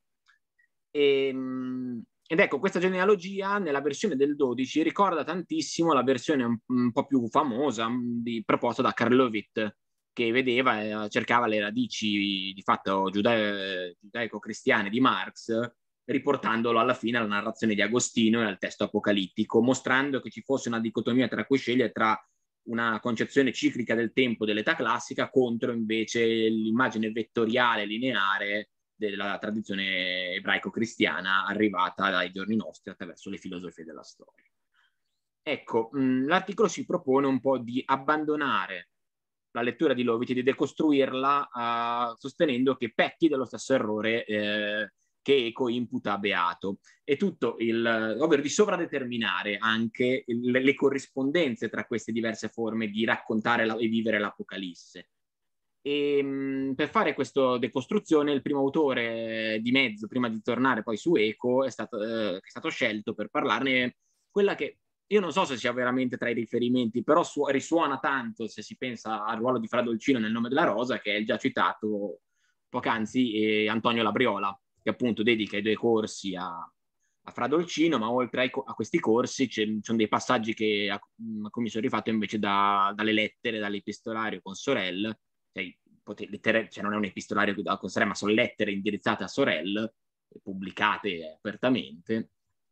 in cui eh, la Briola cerca di, di, di, creare un contrasto da, da, tra l'interpretazione che vorrebbe vedere in questi eretici dei precursori della teoria marxista, perché c'è appunto sulla scorta di, di, teorie più famose che vedevano negli anabatisti dei precursori della lotta proletaria, lui fa, fa vedere come il disagio della lotta di classe, eh, dell'analisi del materialismo, può spiegare il perché si crea un movimento da un punto di vista di, delle condizioni sociali in cui il movimento di Fradolcino può prendere piede e ha senso che, eh, che, prenda piede all'interno di una teoria marxista, ma poi fa vedere come il profeta, eh, Fradolcino l'eresiarca,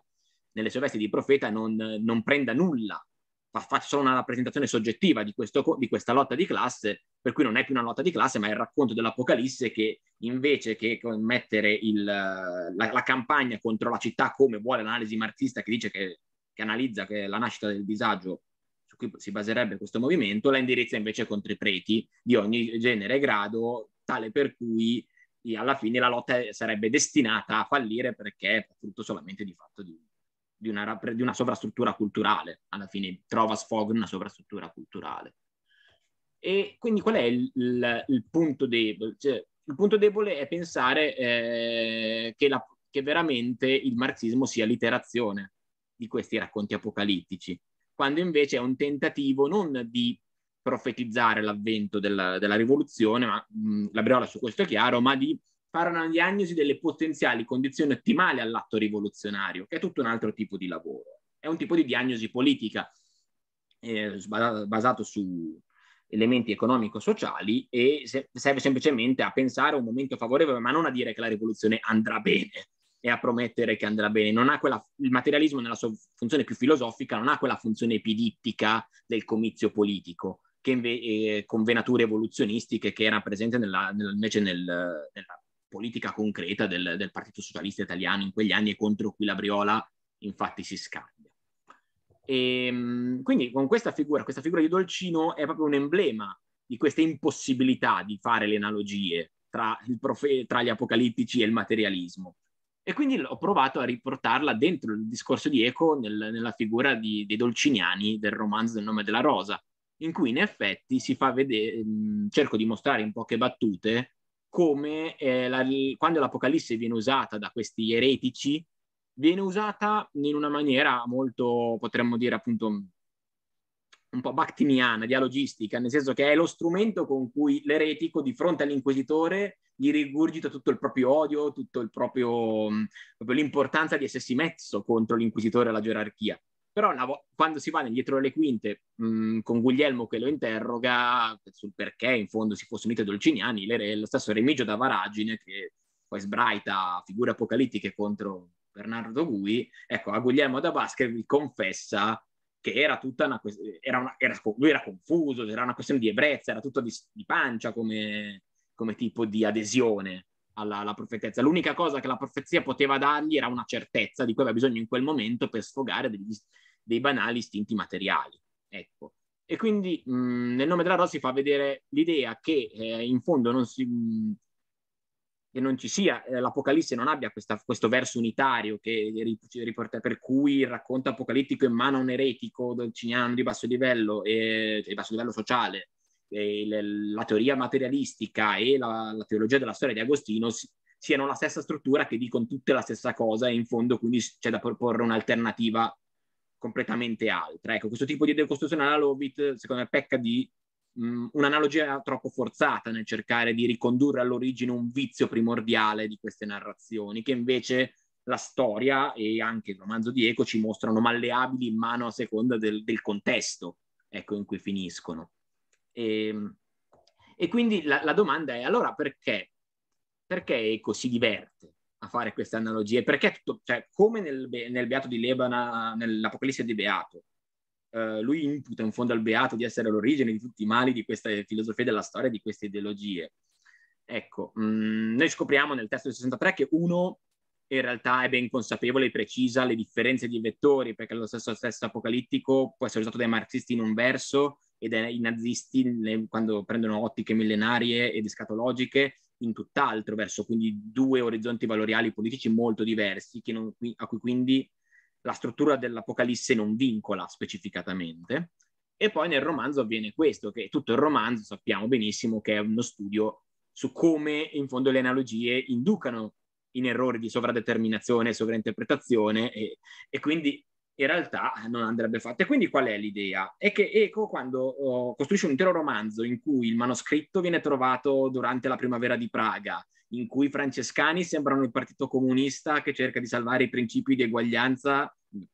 in analogia a quelli della povertà, contro invece l'apparato del, di potere del mondo occidentale, l'apparato ecclesiale del, del Medioevo. Ecco tutte queste analogie che noi vediamo, cerchiamo, ci sembrano praticamente dire, addirittura c'è la, la, moglie di Dolcino si chiama Margherita, proprio come la compagna di uno dei fondatori delle Brigate Rosse, quindi c'è proprio, lui gioca su tutte queste analogie,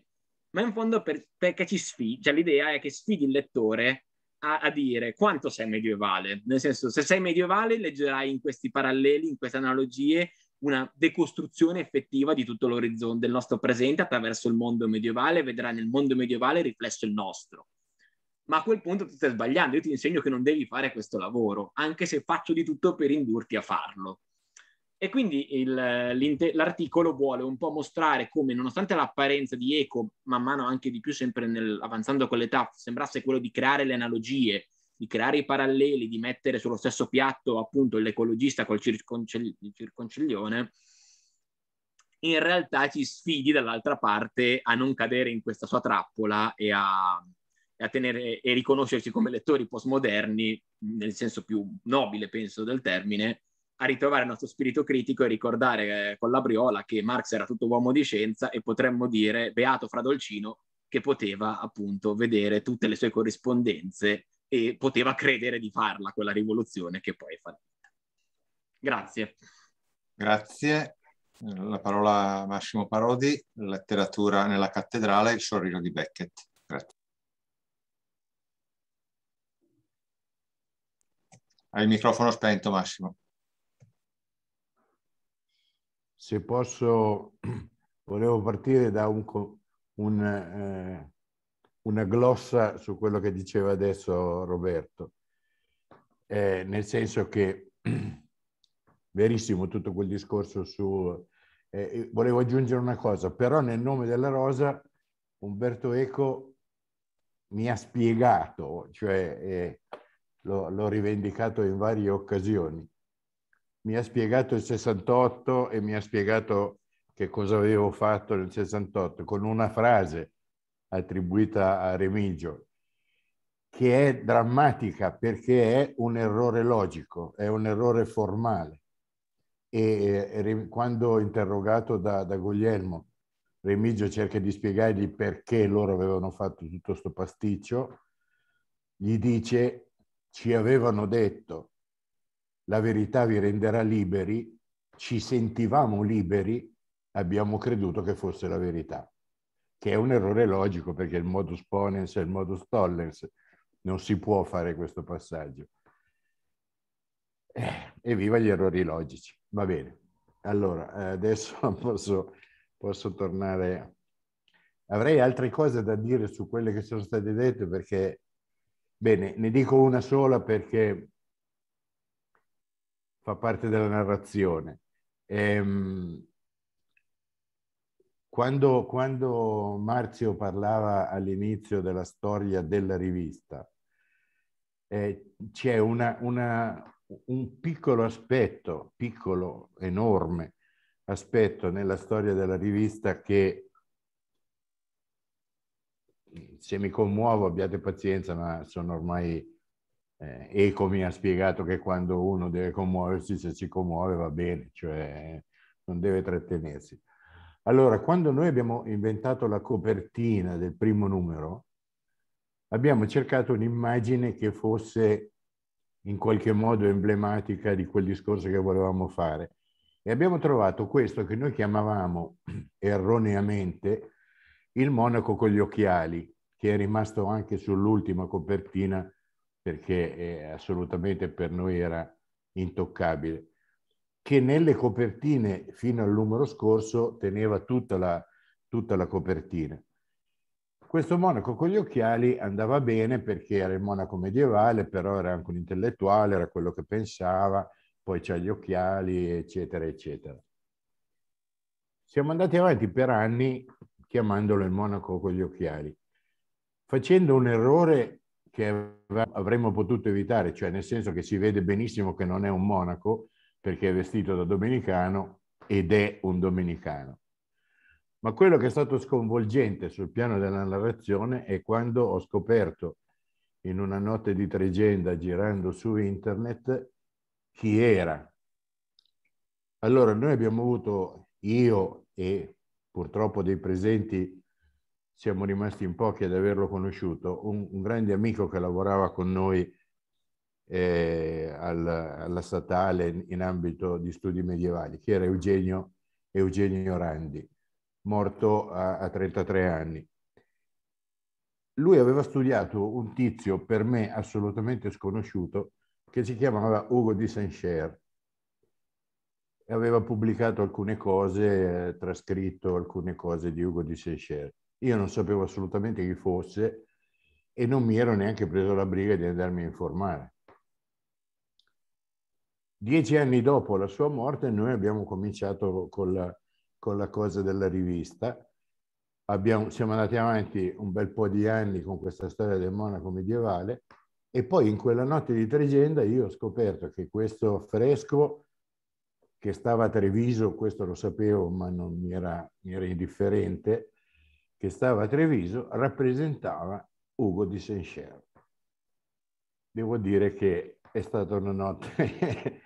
una notte terribile perché senza saperlo assolutamente, eravamo confluiti su questa figura. Qualcuno scherzando mi ha detto no, ma non è una tua impressione, è proprio che Eugenio ve l'ha indicato. Eh, va bene, ognuno se lo può spiegare come vuole. Va bene, scusate, ma ormai sono in pensione, faccio il romantico. Allora, eh, io che cosa, che cosa ho tentato di fare? Io ho tentato di mettere le mani su quel nido di vipere che è la corte di Enrico II alla fine del XII secolo. Tiro subito le fila di un discorso che può sembrare abbastanza strano, ma mi sembra significativo. E nel parallelo che avevo fatto anche all'inizio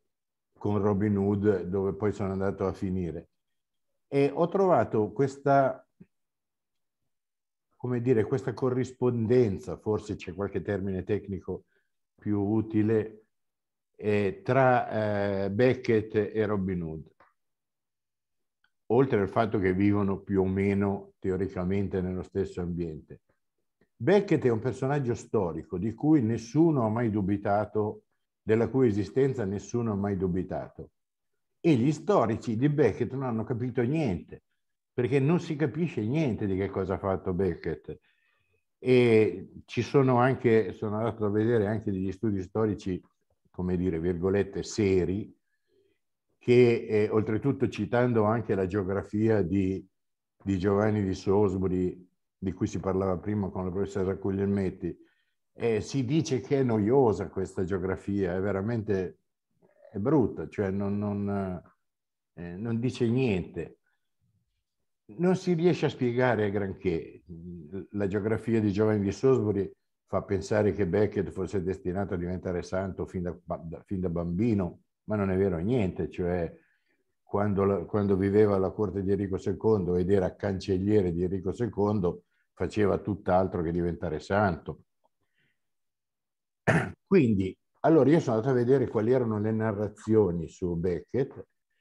e sono arrivato un po' alla conclusione che in fondo Beckett è un personaggio reale che però è stato assorbito dalla letteratura. E non si riesce a capire niente se non passando attraverso la letteratura. Solo la letteratura ha tentato di spiegarlo e l'ha spiegato nei modi molto diversi. Però si vede subito, tant'è che per noi, cioè voglio dire, è diventato quasi omonimo di Assassinio nella cattedrale, ma non sappiamo bene se deriva dal fatto che è stato assassinato nella cattedrale o se deriva dal fatto che Iliot ha scritto Assassino nella cattedrale. Se io dico l'arcivescovo di Canterbury, quello di Assassino nella cattedrale, tutti capiscono. l'alternativa è Robin Hood. Robin Hood è un personaggio su cui ormai nessuno più dubita, non è esistito, è un personaggio leggendario e letterario, che è stato assorbito dalla storia, cioè l'esatto contrario di, di Beckett. Su Robin Hood hanno discusso tutti per secoli, a partire dal XV secolo, quando hanno cominciato a circolare le prime leggende su Robin Hood, che ovviamente non sono del XII secolo, ma lo mettono nel XII secolo, fino ai giorni nostri, compreso, facendo riferimento a Rossi, compreso anche interpretazioni duramente marxiste, non solo marxiste, ma proprio sovietiche, cioè nel senso che esistono delle splendide illustrazioni di Robin Hood che fa un comizio rivolto al popolo di spalle e il popolo ha delle bandiere, guarda caso, rosse e dietro alle spalle di Robin Hood ci sono delle specie di picche piantate per terra che finiscono con una falce. Quindi non ci sono, la, la, l'analogia è vagamente suggerita. Ecco, questo è molto, è molto strano, cioè è, mi ha colpito molto, cioè di un personaggio storico che è diventato letterario e di un personaggio letterario che è diventato storico. E fino a pochi decenni fa continuavano a discutere su chi poteva essere stato, si sono trovati documenti nel XV secolo, nel XVI secolo, eccetera. Invece, venendo a, eh, a, a Beckett, prima vi avevo segnalato come ci fosse questo intrico tra eh, Scott e l'assassino nella cattedrale, nel senso che uno di quelli incaricati di eh, preparare la rivolta contro Riccardo è figlio di uno degli assassini di Beckett. Non solo, ma se avete letto eh, I pilastri della terra, mi auguro che nessuno sia sfuggito perché testo fondamentale di Follett, i pilastri della terra si conclude con l'episodio di Assassini nella cattedrale, cioè si conclude con l'uccisione di, di Tommaso Beckett e sono presenti nel momento in cui Beckett viene ucciso il priore Philip, che è uno dei protagonisti di tutto il romanzo, e William Amleg, che è quello che aveva ottenuto titoli e possedimenti feudali e che continua a lottare contro la città che si è data le mura, tutte queste cose qui. Quindi ci sono il priore Philip che è diventato vescovo di Kingsbridge, cioè della città dove è stata costruita la cattedrale, e William Hamley, presenti nella cattedrale quando viene ucciso Tommaso Becchi. Quindi sono, come dire, la rappresentazione in scala ridotta dello scontro tra Tommaso Becket e Enrico II. E a Beckett sono state, sono state dedicate infinite, infinite, moltissime opere prima di tutto da eh, scrittori medievali, dagli agiografi medievali. Il primo eh, biografo di, che si conosce è questo Gern de Pons-Maxens, eh, di cui alcuni studiosi fanno, mettono in luce come sia uno dei passaggi fondamentali per l'invenzione dei mezzi di comunicazione di massa,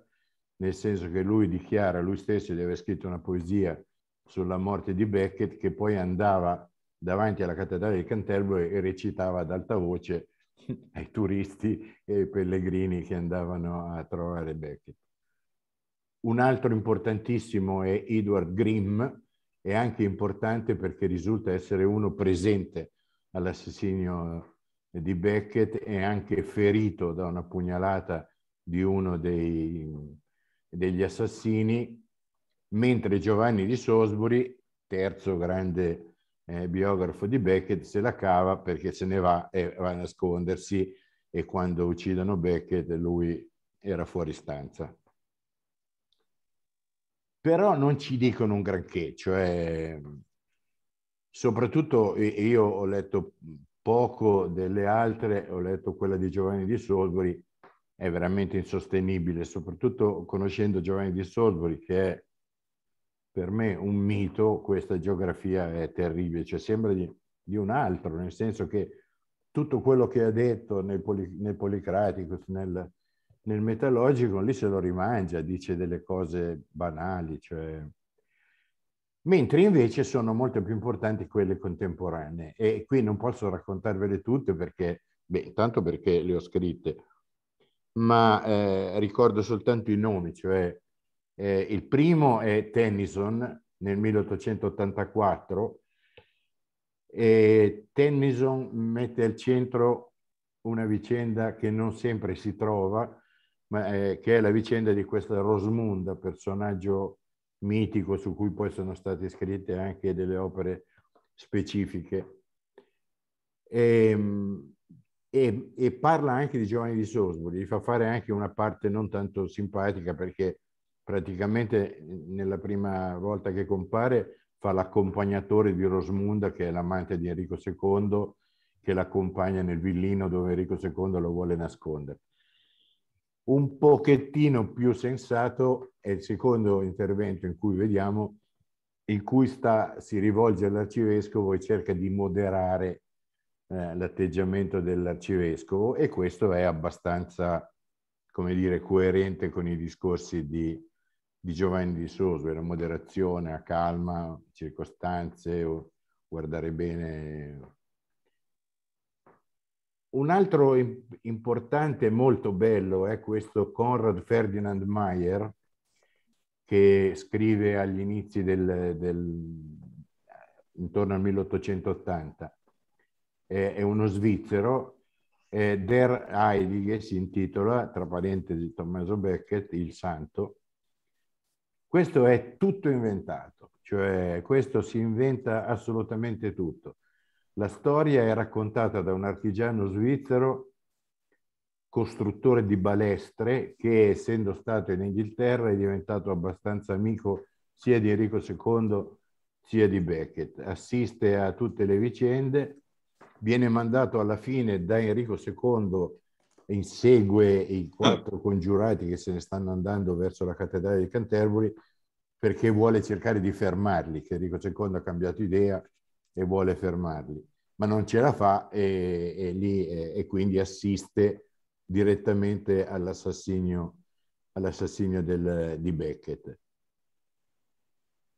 E, ehm, qui la figura di Rosmunda si trasforma ed è la, è la figura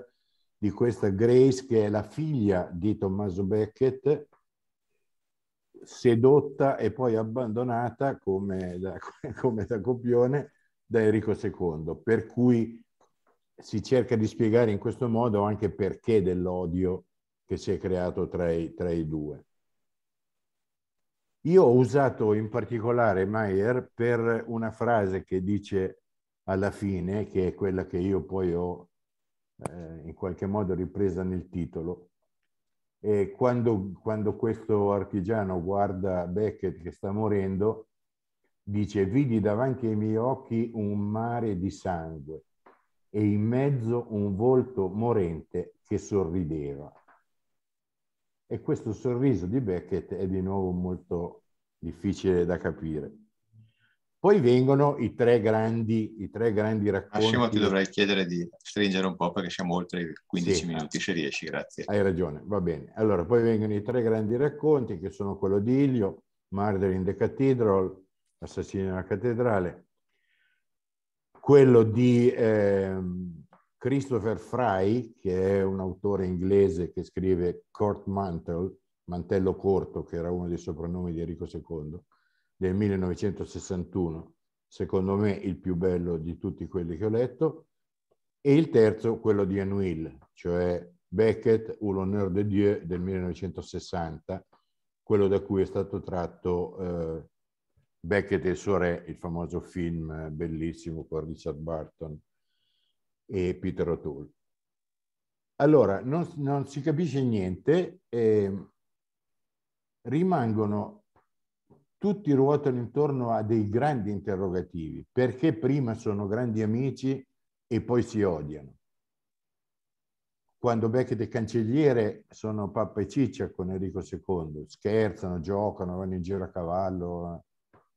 e poi c'è lo scontro violento. I motivi che li portano alla rottura, e non si capisce quali siano, e questa trasformazione di Beckett da uomo, come dire,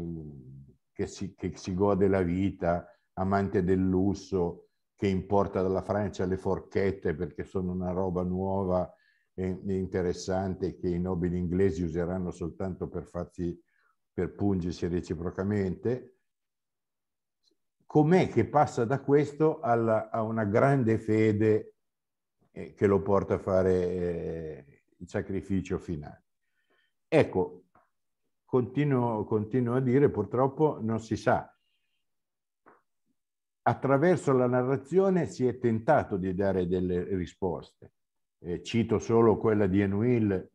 che è una, eh, quella di, di Eliot, che è una delle più famose, cioè questo fatto che Beckett viene tentato, ci sono i quattro tentatori, il potere, l'amicizia, la, la rivolta e poi alla fine il martirio, la tentazione del martirio un po' tutti vanno a finire su questo, cioè che in fondo sia stato un atto anche di, in qualche modo, di superbia, cioè che abbia voluto farsi assassinare. Allora io dicevo, ma in modo puramente, tanto per trovare una, una chiusa, che in fondo è esattamente quello che ci diceva Maier, cioè questo sorriso. Forse Becker ci sta dicendo che è inutile che cerchiamo di sforzarci, perché, come dice Giovanni di Sosbury, il mondo è un teatro, tutti hanno la loro parte, lui prima ha fatto una parte, poi gli hanno cambiato ruolo e ha fatto un'altra parte. Basta. Grazie. Scusami. Eh, la parola a Amalia Salvestrini, retorica tra letteratura e storia, Agostino e il Medioevo polimorfo di Louis de Wool. Grazie. Grazie. Eh, prima di iniziare volevo soltanto far vedere il volume di cui si sta parlando e anche il, mo- il, il frate qua in immagine, visto che eh, il professor Farodine ha fatto eh, ha fatto riferimento a questo. E volevo anche confermare appunto il eh, laboratorio su Umberto Eco eh, che si è tenuto nel 2016, eh, anche a me risulta, risulta, così, sono stati molteplici punti di riferimento. E appunto il mio, il mio contributo eh, ha voluto un po' svolgere una questione che eh, un po' articolare, in fondo la, la questione del narrare il Medioevo. E l'intento del, dell'articolo appunto è, è, osservare il rapporto tra letteratura e storia per, per, riflettere su questo tema. E il punto di partenza è stato anche un, un autore un po' esterno forse estremo eh, dal punto di vista di questo discorso del rapporto tra letteratura e storia, ossia il poeta francese, non solo poeta, eh, Paul Valéry il quale appunto eh, sostiene che la storia eh, in fondo una, soltanto récit, è solo racconto, perché lo storico è destinato a non raggiungere mai il proprio oggetto, contraddistinto da molteplici dimensioni che appunto non potrà ris- restituire nella, nella sua completezza, tanto che il suo sforzo, secondo Valéry, è soltanto, rischia appunto di essere, di essere arbitrario. E allora, partendo da questa prospettiva anche estrema, si potrebbe dire, eh, mi sono domandata appunto se il discorso storico è incompleto, eh, quale può essere il contributo eh, di, una, di una narrazione. E i romanzi di ambientazione medievale di Louis de Vaux mi sono sembrati interessanti, tra chiaramente molteplici che potrebbero essere presi in considerazione, mi sono sembrati un interessante appunto terreno di indagine. Eh, il professor Parodi ha già detto due parole sulla figura, sul, su, su Devo l'autore, prolifico scrittore ehm, non, so, non, solo di, di, di, agiografie, per così dire, eh, moderne, dove forse emerge un po' quello stereotipo del santo eh, che ci siamo formati successivamente per riprendere le osservazioni della professoressa Guglielmetti, ma eh, che tuttavia eh, sembra offrire anche una visione molto plurale appunto del Medioevo. E appunto mi sono proposta di approfondire il tema del narrare, di, del narrare il Medioevo eh, a partire da un oggetto eh, particolare che è quello della retorica, che in fondo eh, consente di, eh, di approfondire mh, per una sorta di vicinanza anche col tema del narrare e individua, permette anche di individuare un duplice livello eh, narrativo. Da una parte il narrare descrittivo di, di De Waal, come appunto De Waal costituisce il proprio oggetto, e dall'altra la narrazione creatrice di storia, dove la parola eh, diviene produttrice di quelle n dimensioni che la prima narrazione va a rappresentare. Il romanzo di, di De Waal su cui mi sono in particolare soffermata è quello dedicato ad Agostino, Una fiamma inestinguibile, L'avventurosa vita di Sant'Agostino, pubblicato nel 1952 e eh, ho cercato di mostrare, eh, ripercorrendo le fasi eh, della vita di Agostino, eh,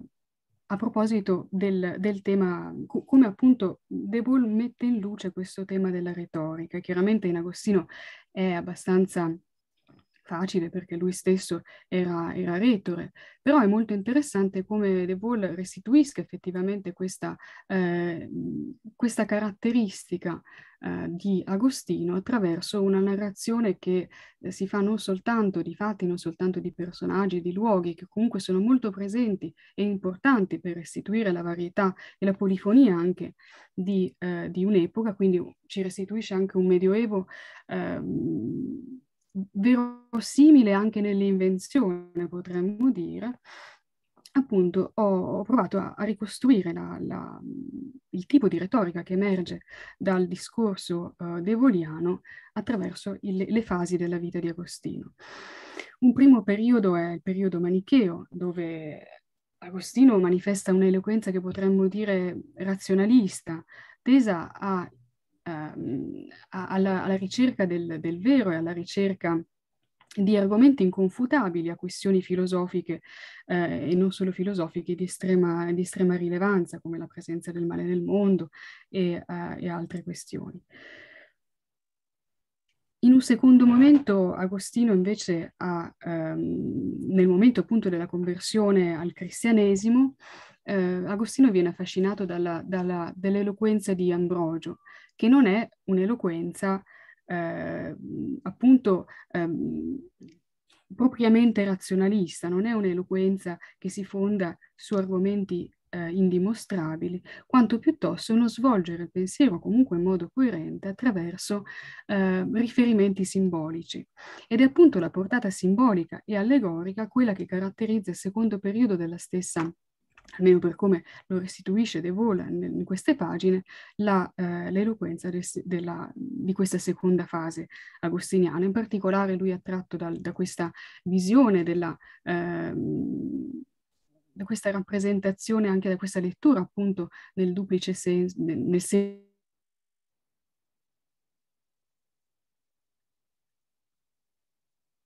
Si è bloccato il... Ok, si era bloccato l'audio, Amalia. Ah, Adesso va bene? Sì, sì, funziona. Eravamo al duplice senso. Sì, al duplice senso della, mm, della, della narrazione, della, della, mm, de, della lettura eh, del testo sacro, eh, o meglio,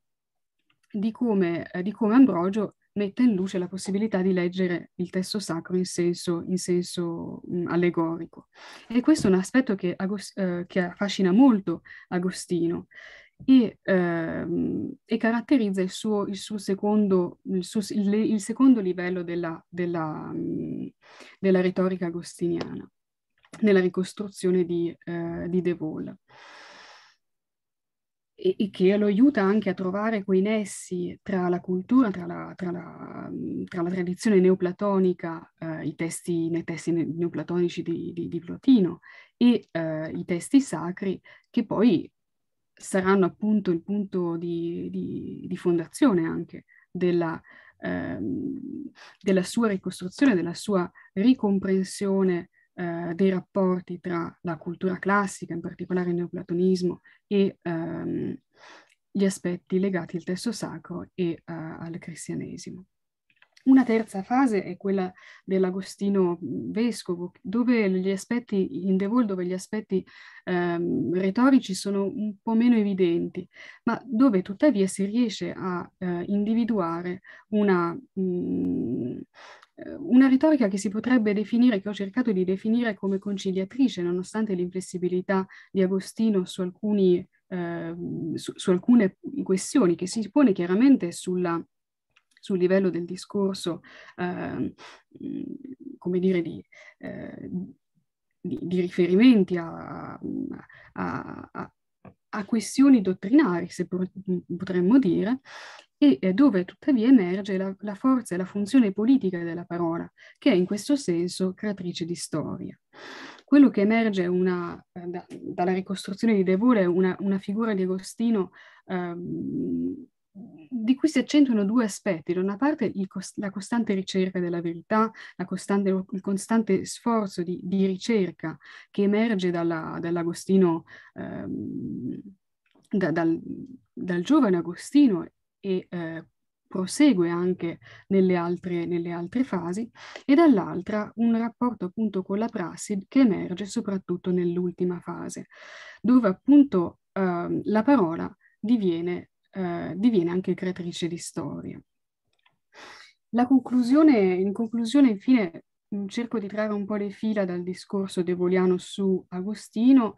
e eh, in particolare cer- cerco anche di eh, individuare la peculiarità della, della rappresentazione me- del Medioevo narrato, narrato da De Vola. E eh, in questo senso riprendo anche due altri romanzi eh, di, eh, ambientati nel Medioevo di De Vol, quello su Francesco d'Assisi e su Tommaso d'Aquino, non ha scritto sulla geografia eh, nel Medioevo, insomma, vite di santi del Medioevo, ma ad esempio posso ricordare anche la il romanzo dedicato ad Attila, però mi sembravano interessanti queste due, queste due figure perché in qualche modo hanno anche un'incidenza filosofica. Mm, Tommaso era, fi- era, filosofo anche e, e, e, e, Francesco d'Assisi ha avuto una grande rilevanza nella costituzione di, un, quello che potrebbe chiamarsi, filo, filo, qualcuno ha parlato di filosofia francescana. E, ehm, appunto tramite anche la, l'osservazione di, di, questi, di, questi due, di, due, di questi altri due romanzi emerge una rappresentazione di Medioevo, potremmo dire plurale, dove appunto l'attenzione ai contesti, ai personaggi, alle differenze dei, delle, delle, culture, nonostante appunto forse la, le figure dei santi siano effettivamente come dei nuovi eroi, potremmo dire. Però nella pagina di, eh, di De Vol questo accade anche per parlare alla contemporaneità e in fondo per fornire degli esempi alla, alla, alla contemporaneità. E quindi la conclusione che mi sembra di poter, di poter, di poter trarre da, da questa, questo tentativo appunto di osservazione, eh, anche rispetto alla alla storiografia con cui probabilmente si è, si è confrontato lo stesso, lo stesso De Vol, eh, e quindi anche forse eh, i, i, pregiudizi, potremmo dire, eh, che forse caratterizzavano la, la storiografia di, que, di, quel tempo, seppur molto, molto significativa, è quella tuttavia di aver a livello narrativo restituito un medioevo polimorfo. grazie. Grazie. Ultima relazione, Luca Cardone, dalle fonti alla pellicola, la narrazione del Medioevo russo nel cinema di Eisenstein e Tarkovsky. Grazie. Sì, grazie. Eh, comincio ringraziando il professor Parodi e la dottoressa Salvestrini per l'invito. Ringrazio anche lei, professor Rossini, per, per questa introduzione.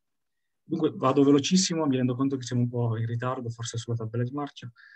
Eh, dunque, um, il mio articolo ha come domanda di fondo una domanda fondamentale, molto semplice, ossia può eh, diciamo, pro- il prodotto di una pratica cinematografica, quindi un film,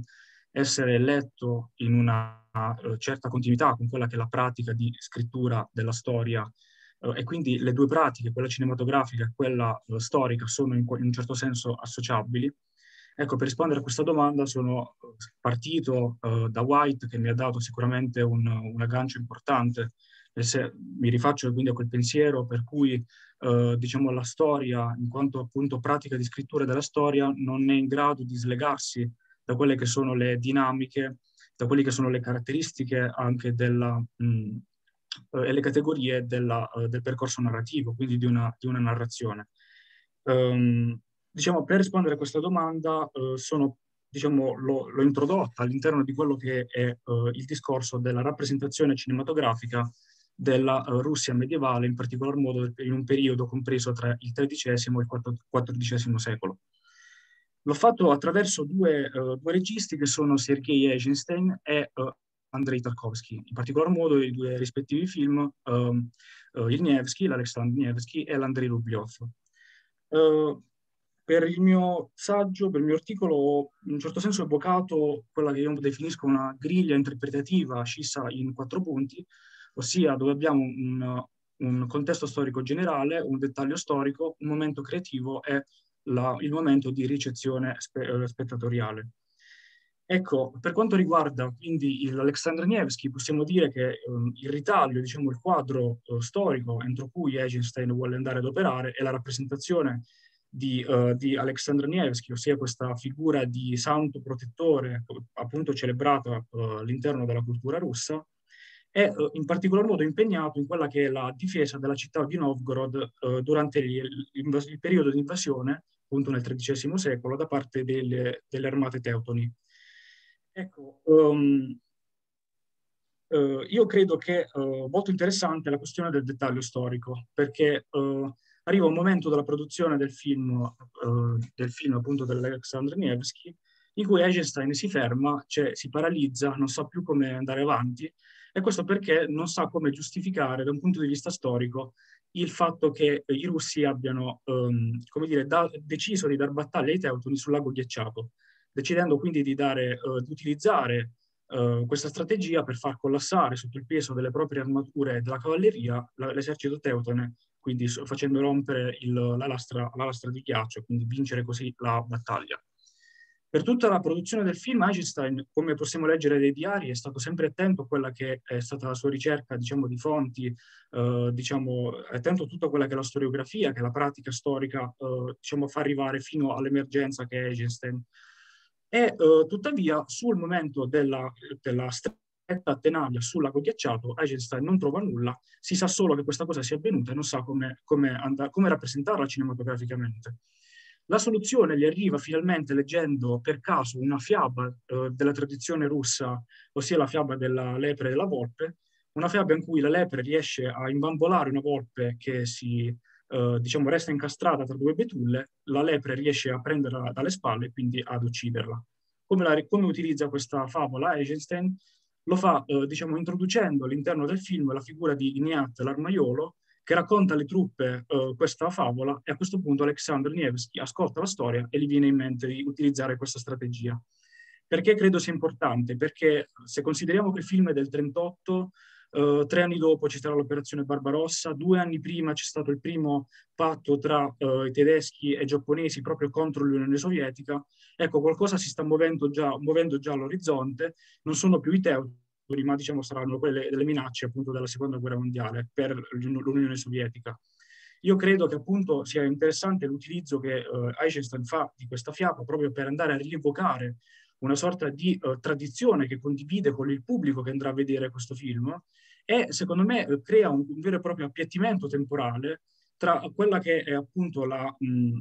diciamo, la, la, popolazione russa, che poteva essere quella appunto del XIII secolo, e quella della prima metà del Novecento, andando a fare una sorta di uh, equiparazione, di, uh, come unendo un filo rosso e andando quasi ad evocare un certo uh, senso di russità. Quindi io credo che da questo punto di vista Eisenstein sia, arriva, sia partito da fonti storiche, sia arrivato in un momento di buco, diciamo così, dal punto di vista storico,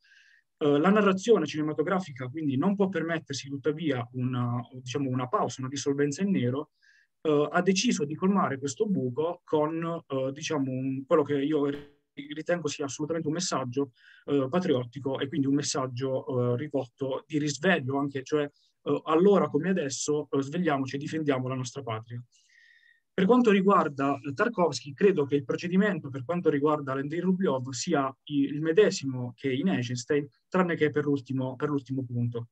Uh, il riquadro che um, Tarkovsky sceglie, quello della narrazione della storia di Andrei Rubliov, questo monaco pittore famoso per aver dipinto la, la Trinità, e uh, questo è un monaco che per tutta diciamo, la, la, durata del film si porta dentro questa domanda, ossia come, io, come posso continuare a fare arte uh, in un mondo uh, in cui sembrerebbe che Dio ci ha abbandonati, cioè uh, c'è solo devastazione, caos, eh, perché appunto parliamo della Russia del XIV secolo, invasa non più dai teutoni, ma adesso dalle popolazioni eh, mongole che provengono dal sud. E secondo me per capire questa domanda che Rubliov si pone e anche Tarkovsky si pone nel suo periodo, perché appunto parliamo della Russia del 66, Tarkovsky eh, regista più eh, censurato e ostracizzato da parte, del, reg- dal, da parte del regime dal disgelo in poi, Um, per capire questa domanda uh, di Andrei Rubliov è importante capire come nella cultura russa uh, la questione dell'immagine sia, um, diciamo, l'immagine, in particolar modo l'icona della religiosità bizantino-ortodossa, è sempre portatrice di un certo valore di verità. E questo valore di verità ha a che fare ovviamente con una, una verità spirituale diciamo, eh, trascendente. Io credo, e me ne sono occupato in un altro lavoro, che Tarkovsky abbia assolutamente ereditato dalla sua tradizione questa eh, prospettiva di immagine in quanto portatrice di verità e l'abbia tradotta all'interno di quello che è appunto il panorama eh, cinematografico. Um, quindi anche, eh, diciamo, questo è il quadro eh, generale, questo è il contesto generale. Il dettaglio è andare a specificare l'esistenza in questo, tipo, in questo mondo appunto abbandonato da Dio di questa icona che è la, uh, diciamo, la Trinità. Come lo fa, come va a giustificare uh, l'esistenza di, di questa opera Tarkovsky? Uh, lo fa secondo me in una sequenza, tra le più belle secondo me di Tarkovsky, ossia la sequenza della campana. Protagonista di questa sequenza è uh, Boriska, un giovane fonditore di, di campane, che uh, viene uh, obbligato un po' dal gran principe russo uh, nella costruzione di una campana e viene minacciato del fatto che se la campana non suonerà verrà tagliata la testa a lui e a tutti i suoi collaboratori e il resto diciamo, della squadra di operai che lavora con lui. Boriska dice di essere in grado di fare una campana e tra l'altro una campana in grado di suonare, questo perché diciamo, suo padre gli ha dato il segreto prima di morire. Boriska fa la sua campana, la campana suona e nella penultima sequenza Boriska cade in lacrime tra le braccia di, uh, tra le braccia di Andrei Rubliov dicendo di aver fatto la campana ma di non aver mai conosciuto nessun segreto perché suo padre non gli ha detto nulla. Da questo momento in poi Rubliov capisce, per, eh, si dà una risposta a quella domanda, cioè come posso fare arte, perché devo farlo? Devo farlo perché la mia è una chiamata. E quindi in questo caso Tarkovsky um, va a eh, diciamo, concludere, far, proseguire il suo discorso narrativo cinematografico, inserendo quello che è uno dei suoi messaggi soliti, eh, a mio avviso, all'interno di tutta la sua cinematografia, ossia quel tipo di sensazione, messaggio che il singolo soggetto porta dentro di sé e che non è comunicabile. E qui siamo diciamo, vicinissimi al, diciamo, ad Agostino quando dice finché, finché, non me lo chiedi lo so, quando me lo chiedi non, non lo so più. Credo appunto che le, la differenza tra, in questo caso, tra Eisenstein e Tarkovsky stia, sia appunto nell'ultimo punto, cioè la, la, ricezione spettatoriale, cioè dove l'uno lancia un messaggio eh, di tipo patriottico, va a risvegliare una certa coscienza collettiva e nazionale, Tarkovsky invece è sempre interessato a dare un messaggio, eh, diciamo, al singolo soggetto, cioè una singola eh, anima, una singola personalità. Anche in questo caso di risveglio, ma da, ovviamente animoso, non più, diciamo, patriottico. Uh, quindi, concludendo, io credo che um, in entrambi i casi ci sia la possibilità di osservare come tutti e due partano, e questo lo si può leggere dai loro testi, dai loro diari, uh, partano da un percorso che uh, segue delle dinamiche storiografiche, cioè si rifanno fonti, in, diciamo, indagano quelli che sono dei reperti di un determinato periodo, studiano monografie di, questi personaggi. La differenza, secondo me, nella, nella traduzione tra il, quel materiale storiografico e quello cinematografico sta nel, uh, nel fatto che um, la pratica storiografica può sempre indicare e additare una certa assenza di fonti e da qui in poi magari far partire determinate uh, speculazioni, determinate ipotesi su quello che può essere una lettura su determinati dettagli appunto storici, storiografici. Per quanto riguarda il cinema, questo non è possibile perché appunto il cinema non può permettersi una dissolvenza in nero, deve, la narrazione deve procedere. Credo che in questi due particolari casi eh, questa, la narrazione sia andata avanti con due messaggi, eh, diciamo, diametralmente opposti, diversi, e uh, la domanda finale è: questo mina il fatto che un percorso cinematografico possa essere una traduzione da un medium all'altro di determinati risultati e di una certa ricerca eh, diciamo, storiografica, io questo non lo credo, credo che assolutamente quindi eh, queste due pellicole, eh, come, così come ce ne sono moltissime altre, eh, possano essere prese in, in, continuità con quella che è la pratica, diciamo, della storiografia. Grazie. Grazie eh, per l'ultimo intervento. Mi rendo conto che è molto tardi, chiederei solo tre minuti di pazienza a tutti perché volevo chiedere a Francesca Forte se vuole presentarci un momento il prossimo numero di Doctor Virtualis, il numero 17, che è anche un numero molto particolare e che in qualche misura si collega anche a delle, per Francesca, ma non solo per lei, anche a delle relazioni personali molto profonde. Grazie Francesca. Sì, grazie a tutti per la pazienza, faccio veramente in fretta perché so che l'ora è tarda e quindi giusto per raccontarvi appunto che il prossimo numero sarà dedicato a Massimo Campanini, e, che è stato una, diciamo, un collaboratore tra le altre cose di Dr. Virtualis, è un amico per tanti di noi, un collega, un maestro, quindi insomma tutto quello che è stato Massimo per noi. Eh, dato che ha anche appunto collaborato varie volte mh, in vari numeri della rivista, eh, abbiamo pensato che il modo migliore per rendergli omaggio era proprio dedicargli un numero mm, e per questo abbiamo chiamato un po' a raccolta i suoi amici, i suoi colleghi, sia italiani che, mm, diciamo che stranieri. Massimo aveva delle relazioni internazionali molto sviluppate e mh, mm, cercando sempre però di, di, mantenere un po' quella che era l'anima de- della nostra rivista, quindi insomma legato un po' al tema del Medioevo. Come sapete Massimo negli ultimi anni aveva spostato le sue ricerche e, e la sua attenzione anche al mondo contemporaneo, eh, alla teologia e non solo diciamo, alla filosofia, però eh, diciamo, per noi Massimo nasce appunto come studioso di, de, dei filosofi medievali eh, arabo-musulmani, quindi come studioso e traduttore di Averroè, Al-Ghazali e Avicenna. Quindi abbiamo chiesto a questi colleghi e amici appunto di eh, tracciare un po' un profilo eh, di ricerca legato a questi temi. No? Quindi molti di loro avremo quindi degli, degli interventi eh, che partono tutti da uh, autori del Medioevo, no? quindi avremo un intervento su Gazzali, che era un autore particolarmente amato da Massimo, uno su Averroè, eh, uno su Ibn Khaldun, uno su Maimonide, ma la cosa mh, credo più, uh, più, bella e che, che, credo rispecchi tanto anche sia eh, lo spirito di Doctor, ma anche quello che era lo spirito di Massimo, eh, Campanini era, è che tutte queste ricerche mh, non rimangono mai ehm, legate solo allo studio filologico degli autori, eh, ma sono sempre aperte a un dialogo con la contemporaneità e in particolare con la contemporaneità appunto eh, del, del, rapporto sia dell'Islam con l'Occidente, ma anche del rapporto del mondo arabo-islamico con la propria eh, tradizione storica e la propria contemporaneità per cui ehm, alcuni dei, dei, suoi colleghi e amici hanno poi eh, partendo da studi diciamo, sul Corano e sul Medioevo, hanno poi approfondito il tema del rapporto con i movimenti, ad esempio, contemporanei, eh, movimenti islamici contemporanei o con l'ermeneutica del Corano contemporanea. Quindi siamo, credo, tutti in redazione contenti alla fine della, della qualità del, del numero che sta,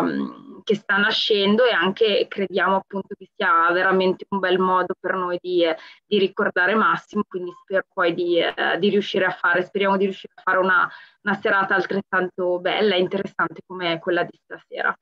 Grazie a tutti anche per tutti i vostri interventi. Grazie Francesca, eh, ringraziando tutti anche della pazienza per l'ora tarda, vorrei solo chiudere con questa analogia, eh, legame, mi sono reso conto che eh, siamo, adesso Francesca ci ha ricordato attraverso il, il, volume che uscirà la figura di Massimo Campanini. Massimo Parodi prima ha raccontato come casualmente eh, il monaco con gli occhiali, come l'abbiamo sempre chiamato, ci avesse poi ricordato la figura di Eugenio Randi. Io eh, ho citato nel mio intervento all'anno di Lilla il Medioevo che al Nalfrud c'era, che è una citazione che per la prima volta io ho trovato in un testo di Eugenio e che quindi viene da lui e adesso mentre Francesca parlava mi sono girato a prendere un testo perché mi sono ricordato una cosa e ho visto che in un convegno del 1988 ad Ascoli che si intitolava il Medioevo specchio ed alibi, eh, Eugenio ha tenuto una relazione che si intitolava Il Medioevo nei romanzi contemporanei. Sembra proprio una chiusura del cerchio e in qualche misura anche così un modo per raccontare tramite affetti personali, perché poi ci sono ovviamente anche queste cose. Massimo diceva pochi di noi possono dire di aver conosciuto Eugenio, credo che siamo davvero in pochi a questo punto perché molti eh, o non erano in università o sono molto giovani. Diciamo che così si chiude un cerchio anche di relazioni personali e spero che si possa davvero, come ha detto Francesca, anche in ricordo di Massimo Campanini, fare un'altra serata come questa, magari sul numero che appunto fra poco credo sarà in uscita. Ringrazio tutti per gli interventi, tutti gli autori e tutti eh, coloro che hanno ascoltato. Grazie a Massimo Adamalia per il lavoro fatto sul, su questo numero. Grazie al dottor Zanantoni per il lavoro fatto come Biblion eh, sul numero e grazie a tutti coloro che hanno partecipato alla scrittura e partecipato stasera ascoltandoci e diamo appuntamenti a una prossima presentazione del numero. Grazie a tutti.